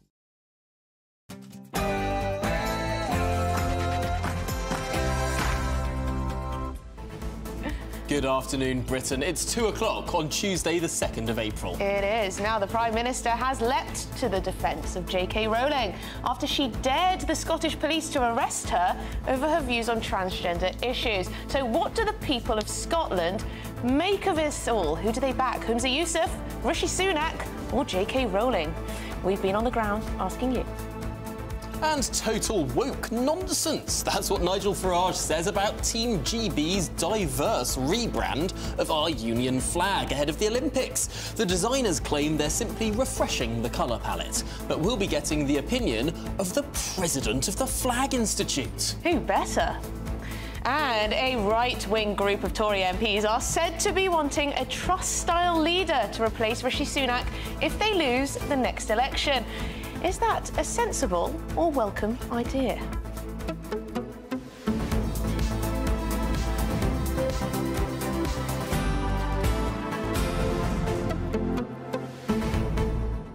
I'm in two minds about this flag. I really am. On the one hand, just sighed looking at it. I mean, you, why, why do you need to change something that is, in my view, probably the best flag in the world? Just sort of the design of it. It draws you into the centre. It represents different nations of our United Kingdom. I think, flag. I think the only flag that really rivals it is probably the Japan flag, just through its simplicity. You know, the, red spot in the middle of the white sheet. I mean, uh, for example, the American flag is just a mess. I've never thought that that was a good flag, but the British flag, there's something about it. So changing it seems very odd. But on the other hand, it's the Olympics, and the Olympics always just just sink my heart when they show the logos and the mascots and all the. Do you remember the 2012 logo? It was just about the worst Um, logo I could imagine for anything. These jagged edges and bright garish colours. Well, do you know what? Do you would you do you understand why Nigel Farage, for example, would slam this rebrand as woke nonsense? I think because it comes so quick off the heels of the St George's cross Mm. being manipulated on the England football kit. It does. And now does it's yet another remake. It's a sense that all of these national symbols just, just have to be changed Mm. for the sake of it. But on the other hand, it's very often the Olympics teams, they, they just, they, they all, it's disappointing, but perhaps not surprising. I mean, the designers say it's just a refreshing new colour palette. Um, so that's their defence. They clearly like it. They think it's attractive. Do you at home It's like it? I, I think I'm, I'm getting, uh, uh, I don't know, some, some sort of epileptic fit looking at it. All the, all the different lines and the squiggles and the sort of colour. I mean, why does it need to be this complicated? So it's not necessarily the colours you don't like, but the fact that it has all these uh, weird and wonderful patterns. textures and patterns, dots, spots, wibbly lines, bright pinks, dark purples. I mean, it's just a complicated mess. Well, the Surely a flag should be simple. Well, the Sun says it's a union joke. Do you agree? gbviews at gbnews.com, but it's your headlines.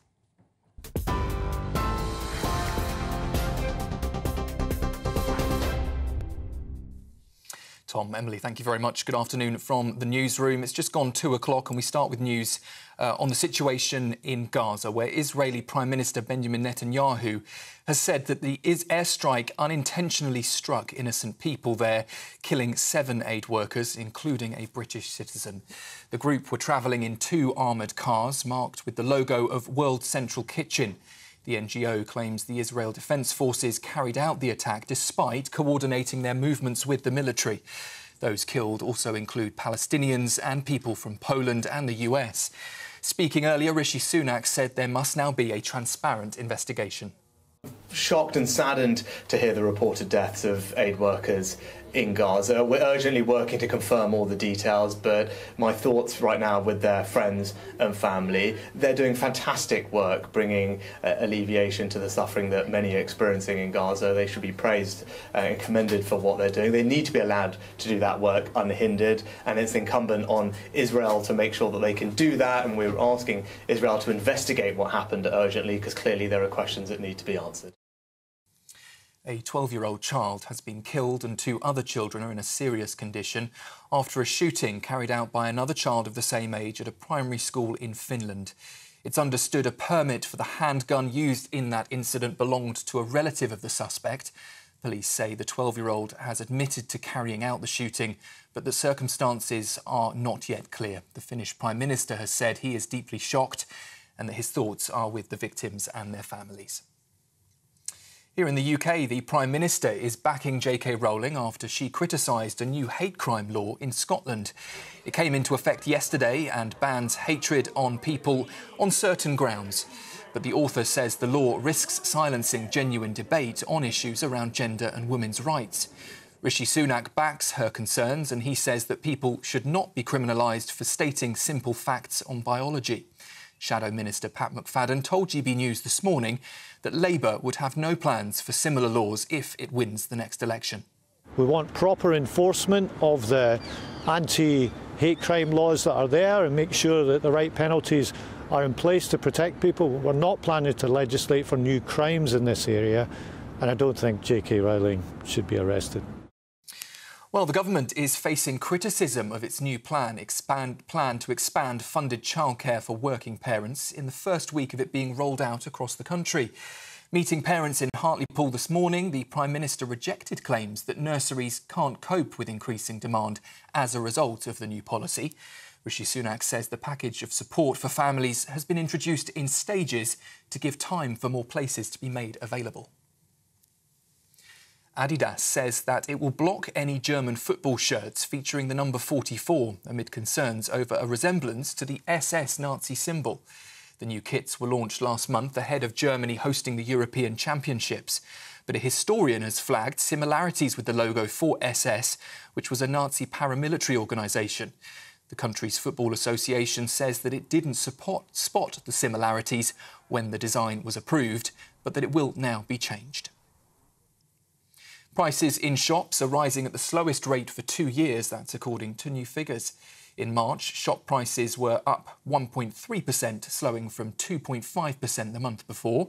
The British Retail Consortium has said that discounts on popular Easter treats and essentials, as well as promotions on electricals and clothing, have helped to keep those prices down.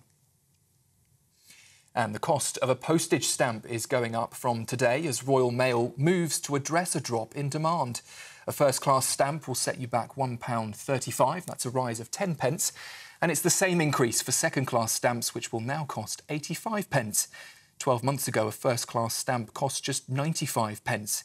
It's the fourth price rise in just two years and comes after warnings that lower demand for postage is pushing up costs for Royal Mail. For the latest stories, you can sign up to GB News Alerts by scanning the code on your screen or go to gbnews.com slash alerts. For now, though, it's back to Tom and Emily.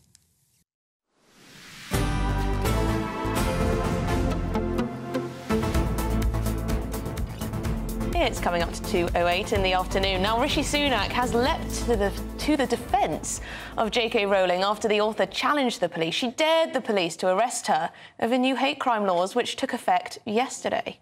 The Prime Minister said the Conservative Party will always protect free speech, adding people should not be criminalised for stating simple facts on biology. But how do the people of Scotland feel? Well, our man on the ground, Tony McGuire, has been asking just that. I, I, I, don't think so. I think, quite honestly, the police have got enough to do. I think at this moment in time, they don't even have enough time to investigate more serious crimes like burglaries, etc. So I think they've got enough to do, and I think it's just maybe a wee bit too far. Oh, I definitely think it is. Yes, uh-huh. we we wouldn't like to be censored in our own home. I'm going to get a T-shirt printed which says ah. the four most dangerous words in Scotland. What do you think? That's it. I think it's going to take too much time for the police to go and try and do anything with that. To me, it's a waste of time. But that's just me. Just exactly the same opinion. No, I don't think so. No. It's too time consuming. The police have got far too many things to, to be getting on with. Goodness me. Tony, did you speak to a single person that was enthusiastically in support of this change in the law? Yeah, it's interesting that, isn't it? And I mean, I, I, kind of actually wanted to start on that. Obviously, at GB News, we, we strive to give both sides of the debate. Um, and, you know, last year during the GRR debate, we, we saw that, that there was really strong views on either side, you know, and it was, I w- I won't say 50-50 split, but it was something of a, a moderately even split. And yet this, I mean, I'm going at this now pretty much two or three days, and the outpouring um, in public places, not a particularly, you know, demonstration or anything that's particularly lopsided. Um, and people all have huge questions here. And I mean, the question there that I actually asked those people, because it's something that I think that a lot of people have picked up on, including Rishi Sunak this morning, was that, you know, this will allow police to investigate reports of so-called hate crimes um, in people's own homes, around the, the dinner table, watching the TV at night on the sofa. And, you know, I wanted to ask them, how do you feel about that in particular and how, how that can actually come into your own home? Should anything that we say in our own home be open for debate by the authorities? And mm. as you heard from those people there, that was a really resounding no. Yes, very interesting indeed. Thank you so much for getting the views of people in Glasgow. Very interesting indeed. That was, of course, Tony McGuire, our Scotland reporter. That T-shirt idea that that one chap said, the four most dangerous words in Scotland, what do you think? There you go. Mm. Yousaf doesn't want to know what you think about anything in case there could be... It could uh, incite hatred, stir up hatred. And of course, Tony... In your own home, in your own home. Of course, Tony's in Glasgow. Mm -hmm. Glasgow is a stronghold of the Scottish National Party. Yep. You'd expect to find at least one or two people who would say, yes, this is a great law, this is a great idea. And he really tried, he really tried.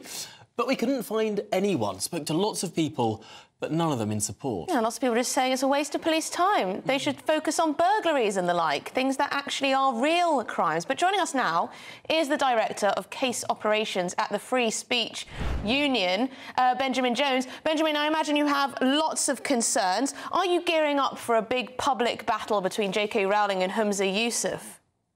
We certainly are. And hundreds of people in Scotland have joined the Free Speech Union in the last few days alone. Uh, we're raising, we've uh, crowdfunded £10,000 and more in the last few days as well to help pay uh, legal fees for people who are caught on the wrong side of this uh, particularly stupid statute. Uh, and we have an arrangement with a top law firm uh, to arrange for solicitors and legal assistance for people who are arrested or charged or investigated now, Benjamin, just for those that don't know, quickly explain what, what is the Free Speech Union? We were set up uh, in 2020 and we are a membership organisation of more than 13,000 people, uh, growing particularly rapidly this week.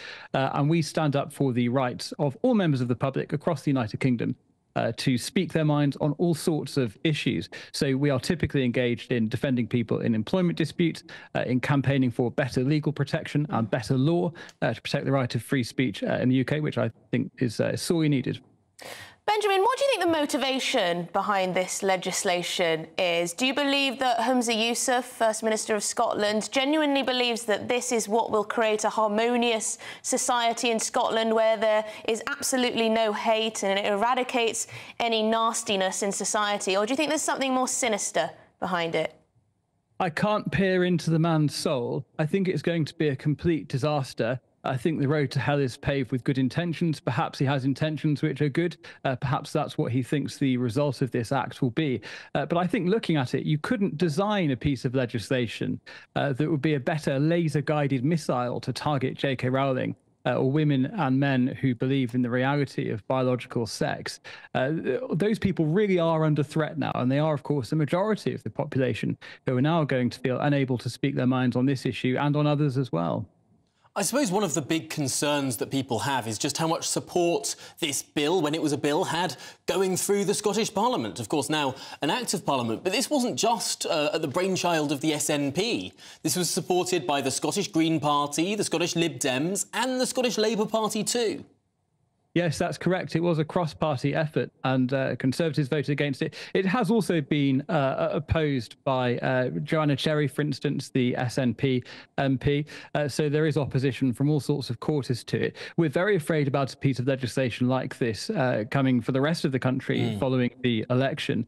Um, it's worth, though, pointing out some of the comments that have been made by uh, members, ministers of the Scottish government in defending this act. They seem to say that it won't be as bad as we think it will be. there doesn't seem to be much sort of proactive vocal uh, defence for the act or what it's going to do.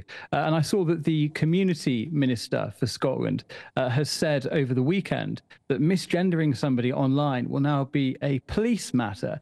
Uh, so that is the uh, new grief. dark age into which Scotland has been thrust by this piece of legislation. And I think it's interesting listening to those clips just then. Uh, members of the public rightly uh, very concerned about the idea that what you say in your own home is not going to be protected. And this isn't just about trans issues, for instance. This is also uh, an act that is going to uh, tackle discrimination based on age. So if you're in your own home and you refer to your own husband or your own father as a grumpy old git, you can be reported to the police who have promised to investigate every single complaint.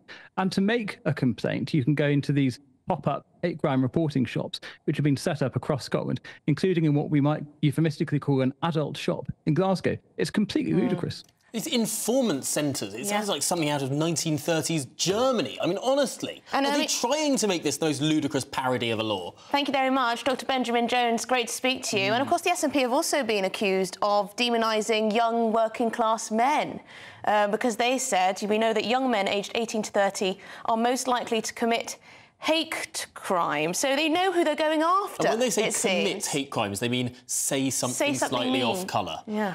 Well, uh, let's let's go on to another story now because we were talking about this just before the news headlines. This rebrand of our flag, of the flag of the United Kingdom of Great Britain and Northern Ireland. This has caused yet more backlash following the rebrand of Nike's uh, St George's Cross for the Euro uh, football competition this summer. It seems that flag after flag it's being changed. Being messed being around altered. with. I mean, judging from our inbox, people are not impressed by this uh, diverse rebrand. Team GB's Union Jack supporters flag has turned pink and purple for the Paris Olympics this year. Should we just leave our flag alone? Well, uh, shall we speak to the president of the Flag Institute, Malcolm Farrow, who I'm sure has an opinion on this one. Um, Malcolm, lots of people Good getting afternoon. in touch saying exactly that. Leave our flag alone. Absolutely. Leave our flag alone. Trying to muck around with the national symbol is the wrong thing to do. Had they been designing a dress, a bikini, a bedspread, or something like that, that's fair enough. You you can play around with colors and shapes and designs. Of course you can, but not a national flag. A national flag is a symbol which belongs to every single member of the nation. It's a symbol which people have fought and died for. It is the symbol of our freedom as a liberal democracy. It is the symbol which people flee from dictatorships to come here and live in peace and harmony beneath. And no one should muck it around. We should treat it with dignity, respect, care, attention, and love it for what it is. The Union flag is a very special flag when it comes to national flags around the world. Many, many countries have seen their flags change, not even in the last 100 years, in the last 70 years. They're relatively new things. Uh, the flag of the United Kingdom of Great Britain and Northern Ireland grew over years of amalgamating different flags, very ancient flags together. It's a symbol of, of, of unity for everyone in our country. Uh, how important is it that these symbols remain unadulterated? I think it's crucially important. The, the Union flag, well, the first one was designed in 1606, and the only change in 1801 was when the, the thin uh, red diagonal for St Patrick's Cross was added mm. for Ireland. And uh, that flag, oh, the union of, uh, of the, the, various nations beneath it, is the most successful union of independent countries the world has ever seen. Uh, and it's just the most amazing, uh, most amazing symbol which we have, of course, exported all over the world. There are half a dozen other countries which use that symbol within their national flags, and by golly, they wouldn't muck around with it. There's about 200 versions of it flying today above yacht clubs, uh, companies, shipping lines, lines uh, government departments all over the world, and not even just within the Commonwealth. Some places outside the Commonwealth still use that flag mm. in one capacity or another. Absolutely, no one should be mucking around with it. Malcolm, and they've done the wrong thing. What do you say to their explanation? They say this is just a refreshing change in colour palette and that it's flexible and that it's designed to appeal to a, a new generation of, of, of athletes and supporters. no, not buying it? Would you like the polite answer or the impolite answer? Oh, well, before I the watershed, Malcolm, so keep it clean. It is complete nonsense. complete nonsense. Like I said at the beginning, had it been a bedspread, had it been a dress, had it been a bikini or a table cover or something, that's fair enough. You can do what you like with colour palettes for that, but not for a national flag. And the fact is, they have called it the Union Jack supporters flag or something like that. It is not a Union Jack, and it should never have been made into a flag for hoisting or waving. Well, there you go, Tom. You can keep hold of your uh, Technicolor Union flag trunks. Oh, oh my! Swimming trunks. I don't. I think maybe I should get some now. That's, uh, that's, a, that's a good idea. Um, well, you can start. Malcolm... You can start with a mug. Oh, Fanta- what a tremendous mug! Marvellous. Malcolm Farrow, president of the Flag Institute. Really appreciate your time uh, on Good Afternoon Britain's Day. Thank you. Oh, good stuff. I enjoyed I, that. I do think. uh, Look, talking through the history of, of the flag, Mm. the sort of that that's um, uh, James VI and first first sort of came up with this idea of merging the the the, the cross of St George and, Yeah. uh, and the saltire in Scotland. It is, I think, the most remarkable visual thing. It draws your eye to the centre. These crossing crosses. It, it is something that stands out. And when, when I sort of, you know, when there are lots of flags up for some sort of national day or at some international event and whatever, you can't help but look at the Union Jack there, and it, it, it it's the best one. It just ju- I is. think I think he's convinced you. I think he's convinced you that we shouldn't have a pink and purple representation of the Union flag. I think that's you sold. Anyway, how do you, the great British public, feel? We've been asking you on the street. Should we take a little listen? It's a disgrace. Why not leave it as it is? It's, you know, our traditional flag. Why mess with it like the England football shirt? Just leave it alone. It's, that is the proper flag for our country, and that's what should be up. Well, I think it's a bit weird they're changing it. It's the flag's the flag, isn't it? It's been there centuries, isn't it? So keep it the same. I quite like it, but I think the red could be redder. Um, yeah, nothing really against it. Team GB should be about the Union Jack in Great Britain, but to me that's not. Oh, well, there you go.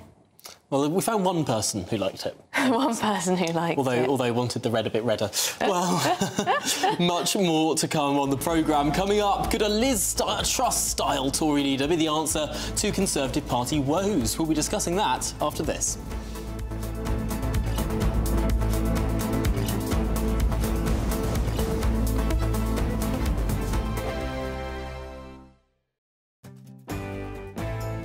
I'm Gloria De Piero. This is GB News, Britain's election channel. GB News Breakfast. Every day from 6 a.m. Could we talk about um, uh, opening up the new uh, Bond role to someone, Alex? And, Oh, um, yes. This is an actor called Aaron Taylor Johnson. Right. Do you remember when the director of the Fifty Shades of Grey films had a young young boyfriend, really, really young, like half her age? It was in all the papers at the time.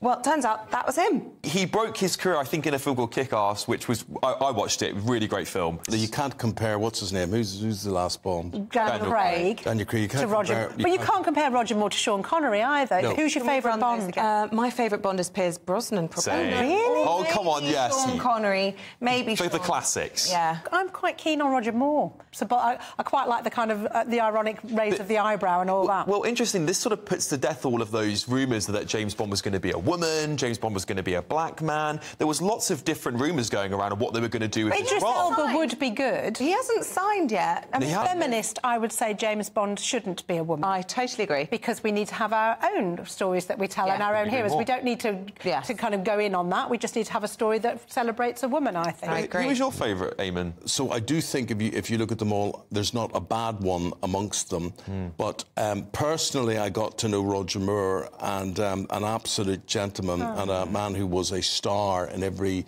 sense of the word, and an impossibly handsome-looking Mm, man. mm. Pierce, I think Pierce is very very good, and Pierce again is a very likable Oh, fella, very very very likable. yeah.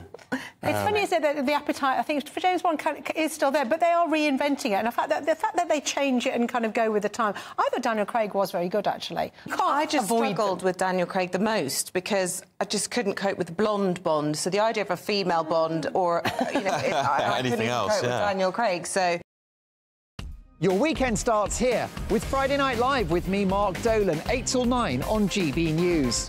Big stories, big guests, and big laughs as we get you ready for a cracking weekend. That's Friday Night Live with Mark Dolan. Fridays 8 till 9 on GB News. Bring your own drinks. The admission's free. Every Sunday from 11, join Michael Portillo. There'll be topical discussion, looking at the week before and the week to come. So kick back and relax at 11am on Sundays on GB News with me, Michael Portillo. GB News, the People's Channel, Britain's news channel. I'm Michelle Dewberry, and this is GB News. The People's Channel, Britain's news channel.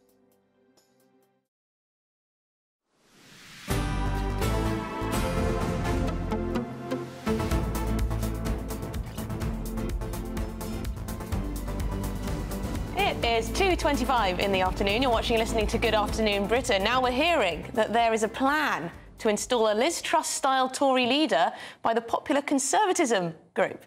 Yes, the Popcons, as they're known, a movement aiming to restore democratic accountability and deliver popular Conservative policies. Well, they've reportedly devised a plan to introduce a future Tory leader aligned with Liz Truss's views on economic policy. So presumably that means small state, free markets, but of course Liz Truss's downfall was partially to do with lots of spending, wasn't it, Tom? It was. Well, I, I, it's, it's, it's my belief that had she not uh, committed to spending up to 200 billion pounds on, on fixing energy prices, then all of her tax cuts altogether, that was only adding up to around 50 billion. And so what, what upset the markets more? Was it the 50 billion in tax cuts or the potentially 200 billion in extra spending? I mean, I, I think it's, it's Yes, fairly those, clear, Those right? woke left markets. Anyway, this comes after the probability of a Conservative defeat has intensified, of course, after continued polls suggest the likelihood of a significant loss. Well, you can say that again. Well, let's speak to the former advisor to David Cameron, Philip Blond, on this issue, and perhaps on the issue of replacing Rishi Sunak at all. Because, uh, Philip, the the plan, as it as it is being reported, is of course for after a Conservative Party election defeat. But I suppose the big question there will, I mean, will there be any sort of dregs of the Conservative Party left to lead? Well, I mean, I've been talking about this for some six months now. I, I said I thought there would be a leadership contest because the Conservatives I, I feared would go below 100 seats. At the time I was speaking, they're around 220 or so. And so it's proved they're, they're continuing to lose support. And so the argument against doing anything uh, is weakening and weakening. And we've got the local elections coming up. So it would not surprise me if there was a no confidence vote shortly after the cataclysmic uh, local election defeats before the election. And really, what you're seeing is lots of people are talking about after the election, but in reality, they're preparing for before the election because the the odds on the balloon going up um, after the local elections have, have shortened considerably. And it's sort of 50 50 now as to whether there will indeed be a vote of no confidence. I mean, Philip, a lot of people would roll around laughing or at least scoff at the idea that uh, a Liz Truss-style leader is the answer to the Conservative Party's woes because, of course, Liz Truss didn't last too long in the position, but others think the Conservative Party needs to get back to its roots, and part of that has to be moving towards a more low-tax economy, a more free market economy, and everything that goes with, with that. I mean, at this point, do you think it would be madness to replace, to oust Rishi Sunak and replace him with someone who is more like Liz Truss in that respect? Well, there's two points. Let's separate them. I don't think it's madness to change leader because I think a new leader now, even though uh, can mitigate the losses and get the Conservative Party back where they can challenge, Labour will have a very difficult time governing. Um, the social liberalism, if I can call it that, the trans agenda is very unpopular in the country. And I think they could be subject to challenge by a revivified Conservative Party.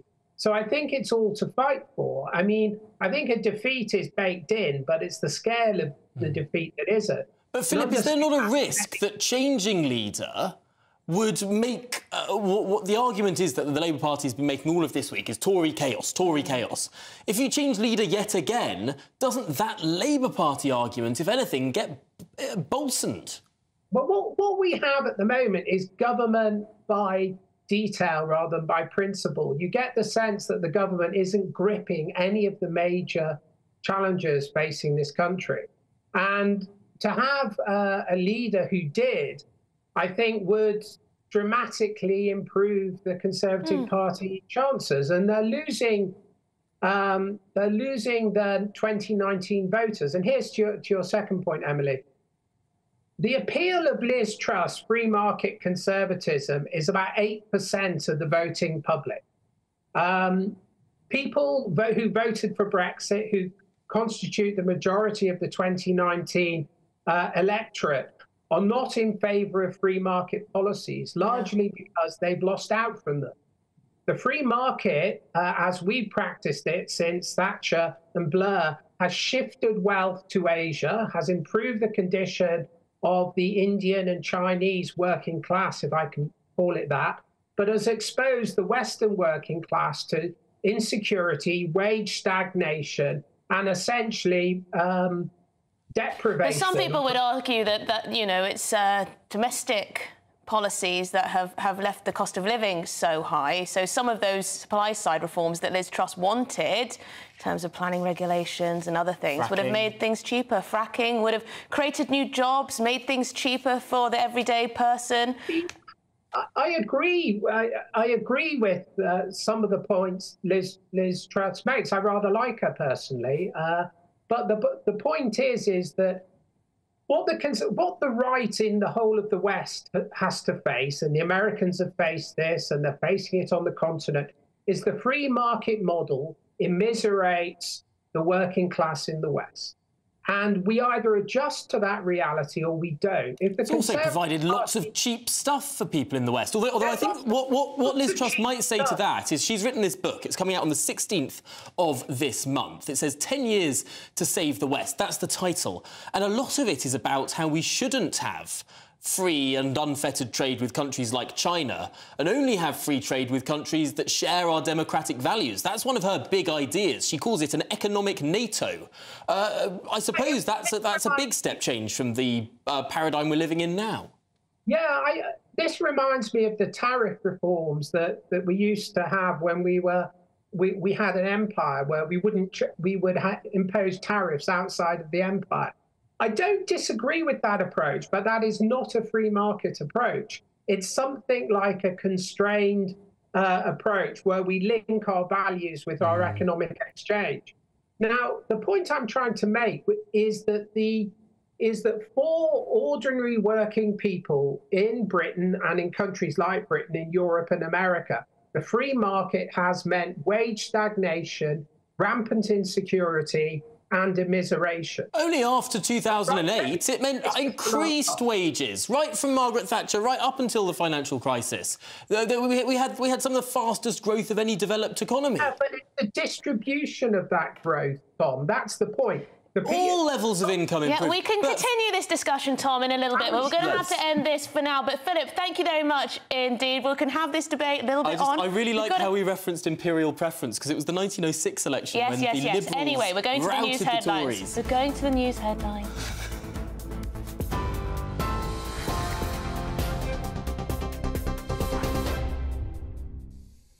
Very good afternoon. It's just after half past two. The headlines this half hour. Israel has admitted its forces were behind an unintended airstrike which killed seven aid workers in Gaza, including a British national.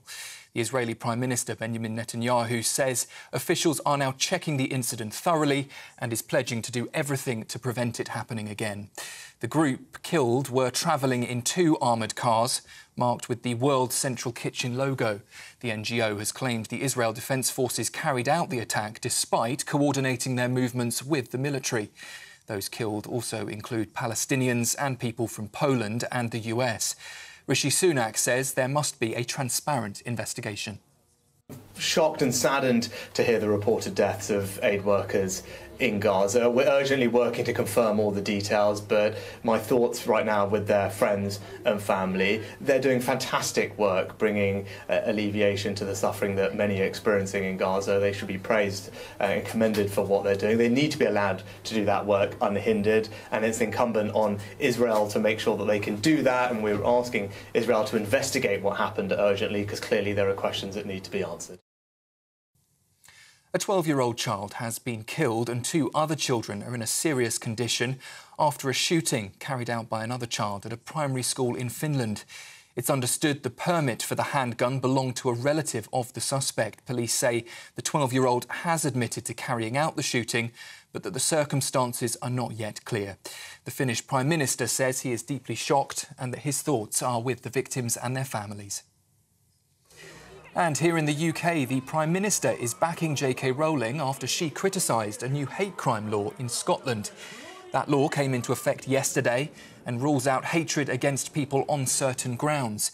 But the author says it risks silencing genuine debate on issues around gender and women's rights.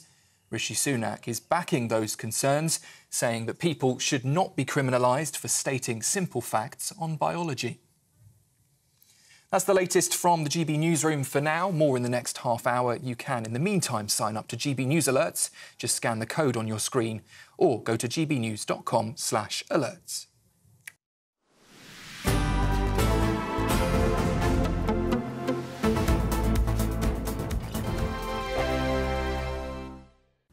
Welcome along to your latest weather update from the Met Office for GB News. For many, it's a fine looking day out there today, dry and bright.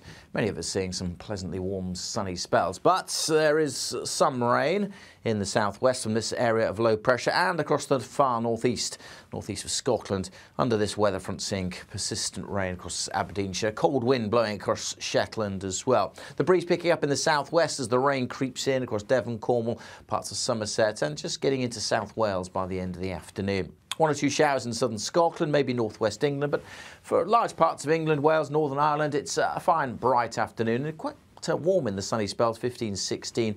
Feeling cold, though, with that wet weather lingering across uh, the northeast of Scotland. That uh, rain persists through much of the night, and further south, the rain will spread north. So most of us will see some wet weather through the course of the night, some heavier bursts likely in parts of North Wales, northwest England. Doing pretty soggy too across the east and south of Northern Ireland. Temperatures mostly holding up in the single figures, 9, 10 degrees the low in parts of the south. But it's a soggy start to Wednesday for Northern England, Scotland, Northern Ireland. Uh, further rain and hill snow to come across the Grampians. Something a little drier in western Scotland and brighter conditions here. And it'll brighten up quite nicely too over the Midlands, South Wales and southern England. Some decent spells of sunshine through tomorrow afternoon, which could see temperatures getting up to 15, 16, maybe 17 Celsius. The latest GB News travel. Good afternoon, I'm Jules Buckley. There's queues at the moment northbound for the M90, really slow, up towards the Broxden roundabout, junction 12 for the A9, a lane shut on the roundabout, a multi vehicle collision causing queues back to junction 10. Anti clock M60 from the East Lancs Road of 14 to Worsley at 13, slow going. There's a collision. It's now on the hard shoulder, but still queuing. A long delays clockwise for the M25 towards Wisley at 10, following the earlier shed load of a concrete slab, still causing delays delays. A northbound M23 delays on the road, Gatwick Airport at 9 up towards the M25 at 8. And the southbound M3 is blocked, Lightwater at 3 to Camberley at 4. Long delays building. There's a lorry fire there currently being attended to this afternoon. And for now, that's your latest. You can stay up to date throughout the day by visiting our website gbnews.com.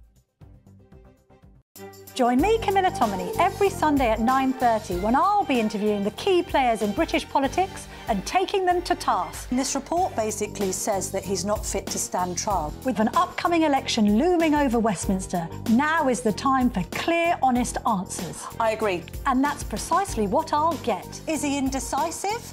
Incompetent? That's the Camilla Tominey Show at 9.30 every Sunday on GB News, the People's Channel, Britain's election channel.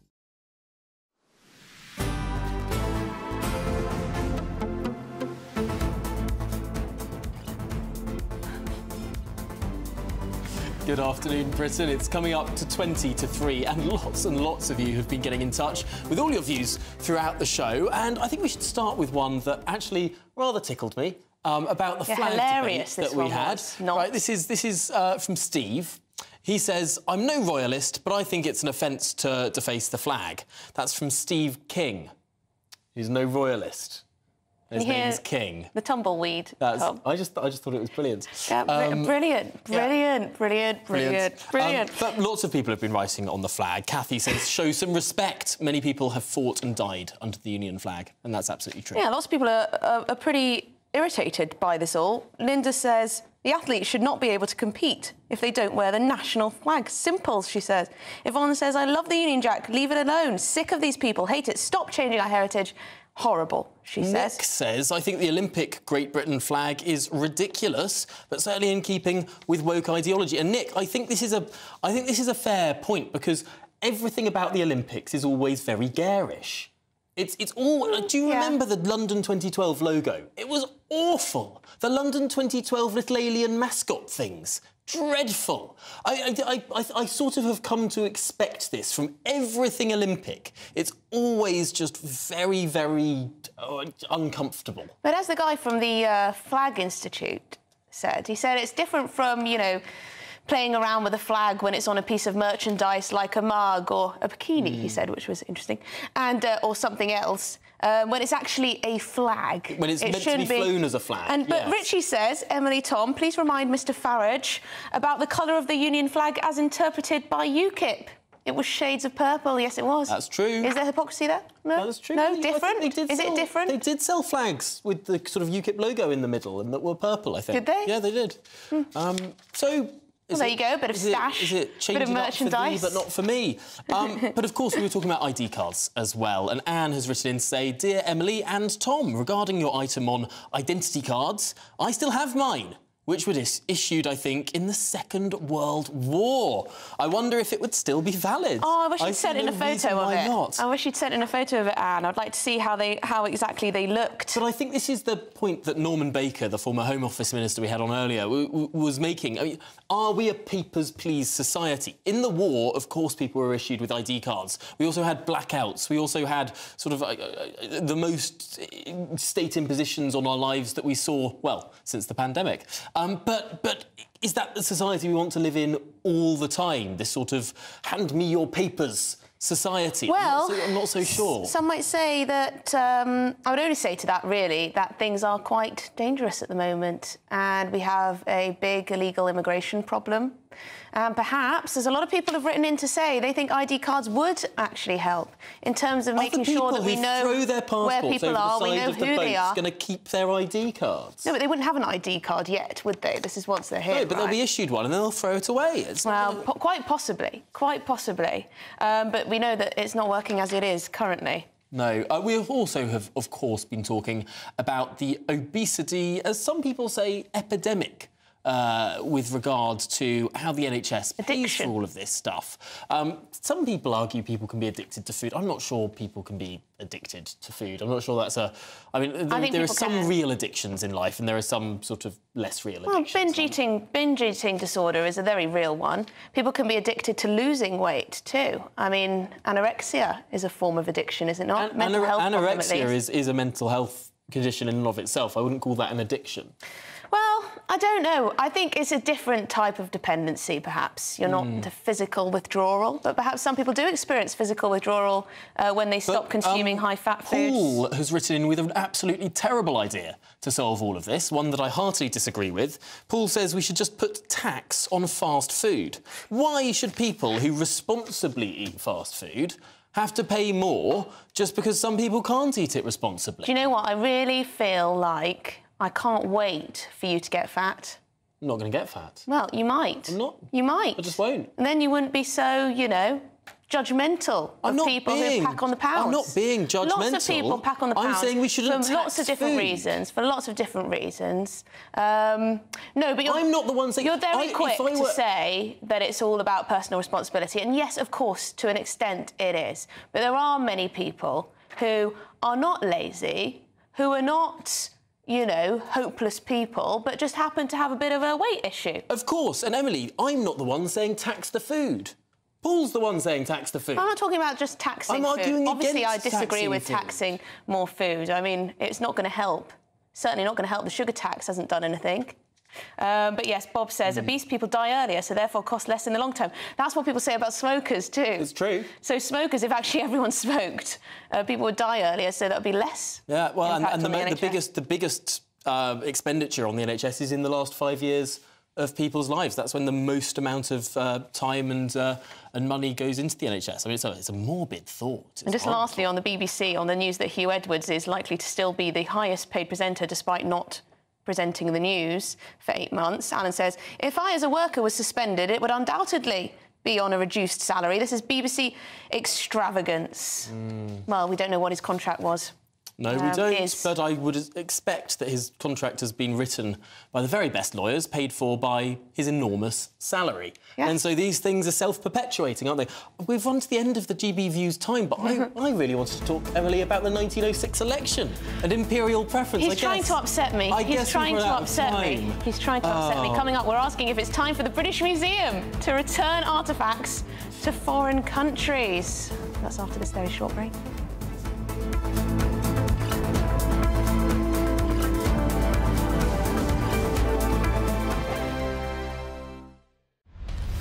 Britain's newsroom. Weekday mornings from 9:30. men's mental health. Yeah. Men are starting to talk a lot more. Yeah. You've been through a lot of stuff that uh, people don't know about. Yeah, I mean, um, the last few years for me have been very, very difficult. Um, people don't, people see me on tour, performing, making music, um, but um, myself and my wife, um, you know, we went through um, two miscarriages. Oh. Um, You know, and you know, for us. That was a very devastating time and very difficult to, to to know how to kind of process those emotions. And I guess as a man, I, I did the thing of bottling up my emotions and where I feel comfortable to to be able to express myself is in the studio. Whereas, you know, she had obviously a different reaction to, you know, what happened to us because not only was it happening to her mentally, psychologically, but it was happening to her physically as well. And I think what something that she really w- would wanted to see from me was that sensitivity and that emotion. And I thought that as a man, being strong was trying to bottle up my emotions and just show her that no, mm. you know, that I'm, I'm being strong for her. Mm. But actually, being strong was is talking about it. Mm. And what's happened ever since I've started to talk about it is I've spoken to more men that have experienced baby loss. My wife forced out of me, you know, how do you feel? And I ended up as a mess on the floor. I was exasperating, crying, almost inconsolable. She was just holding me in her arms um, as we cried together, and we cried together. Um, and I didn't realize I needed that release so badly. Like I said, I've been able to speak to other men, and and, and we've been able to cry together, and they've they shared their own experiences, which they did similar to me. But actually, you know, as men, I feel like that conversation and that sensitivity and being able to be emotional together Every Sunday from 11, join Michael Portillo. There will be topical discussion looking at the week before and the week to come. So kick back and relax at 11 a.m. on Sundays on GB News with me, Michael Portillo. GB News, the People's Channel, Britain's news channel. I'm Andrew Doyle. Join me at 7 o'clock every Sunday night for Free Speech Nation, the show where I tackle the week's biggest stories in politics and current affairs with the help of my two comedian panelists and a variety of special guests. Free Speech Nation, Sunday nights from 7 on GB News, the People's Channel, Britain's news channel. Your weekend starts here with Friday Night Live with me, Mark Dolan, 8 till 9 on GB News. Big stories, big guests, and big laughs as we get you ready for a cracking weekend. That's Friday Night Live with Mark Dolan. Fridays 8 till 9 on GB News. Bring your own drinks. The admission's free.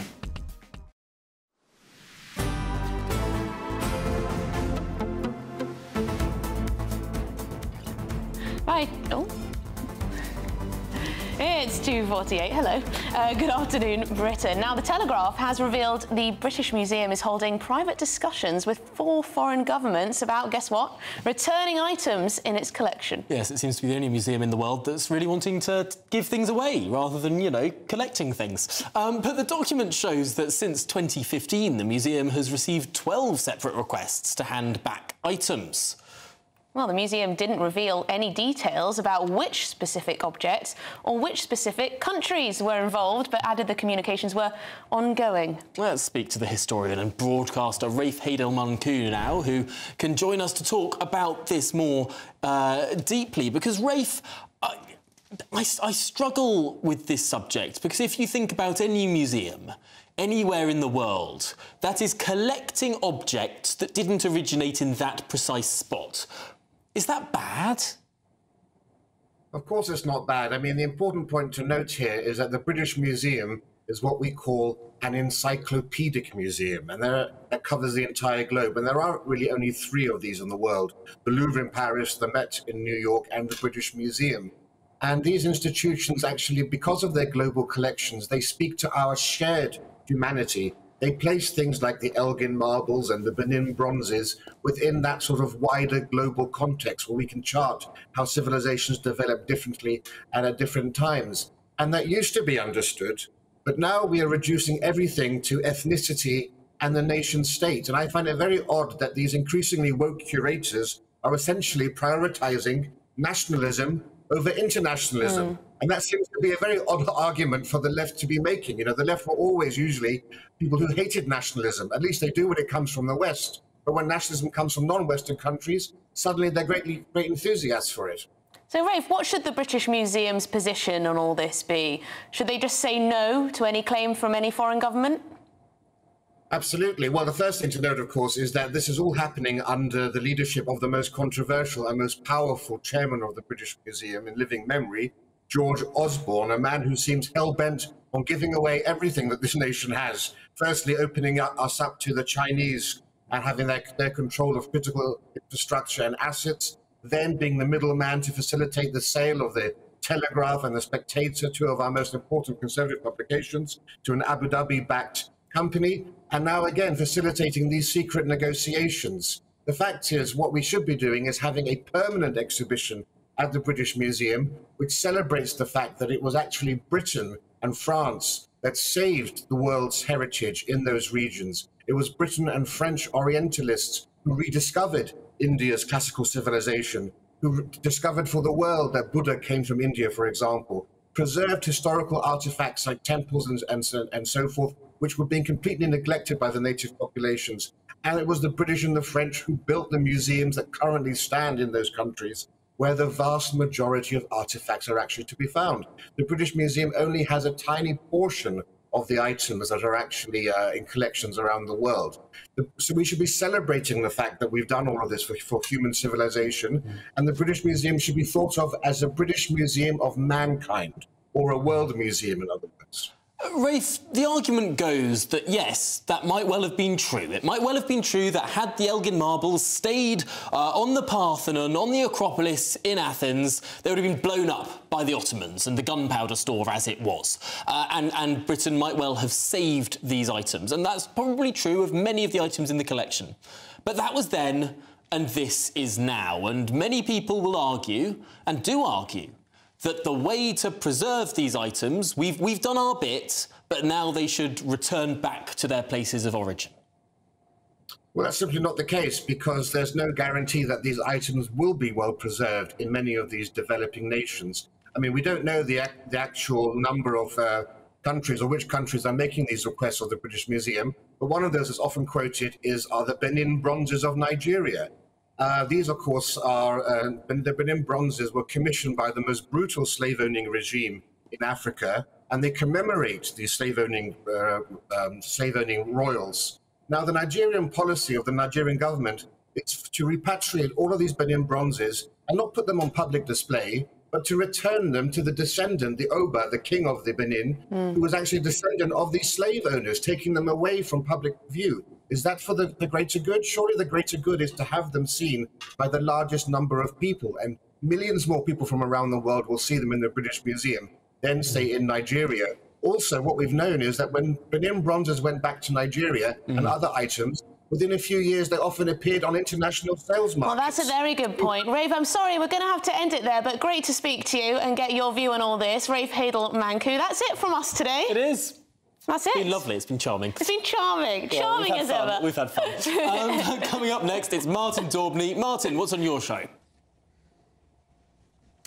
Great show, guys, as ever. 60 charities are saying the UK should adopt a Ukrainian style refugee scheme for Palestinians. What could possibly go wrong? Well, 64% of Palestinians who went to Denmark in the 90s ended up with criminal records. And what about the terrorism links? Also, ID cards. Is it time to bring them back? The Rwanda scheme, we're told, won't work. People will go onto the illegal black market. Is it time for a Blair style ID scheme to come back? All that coming on the show, 3 till 6. But first, time for your latest weather forecast.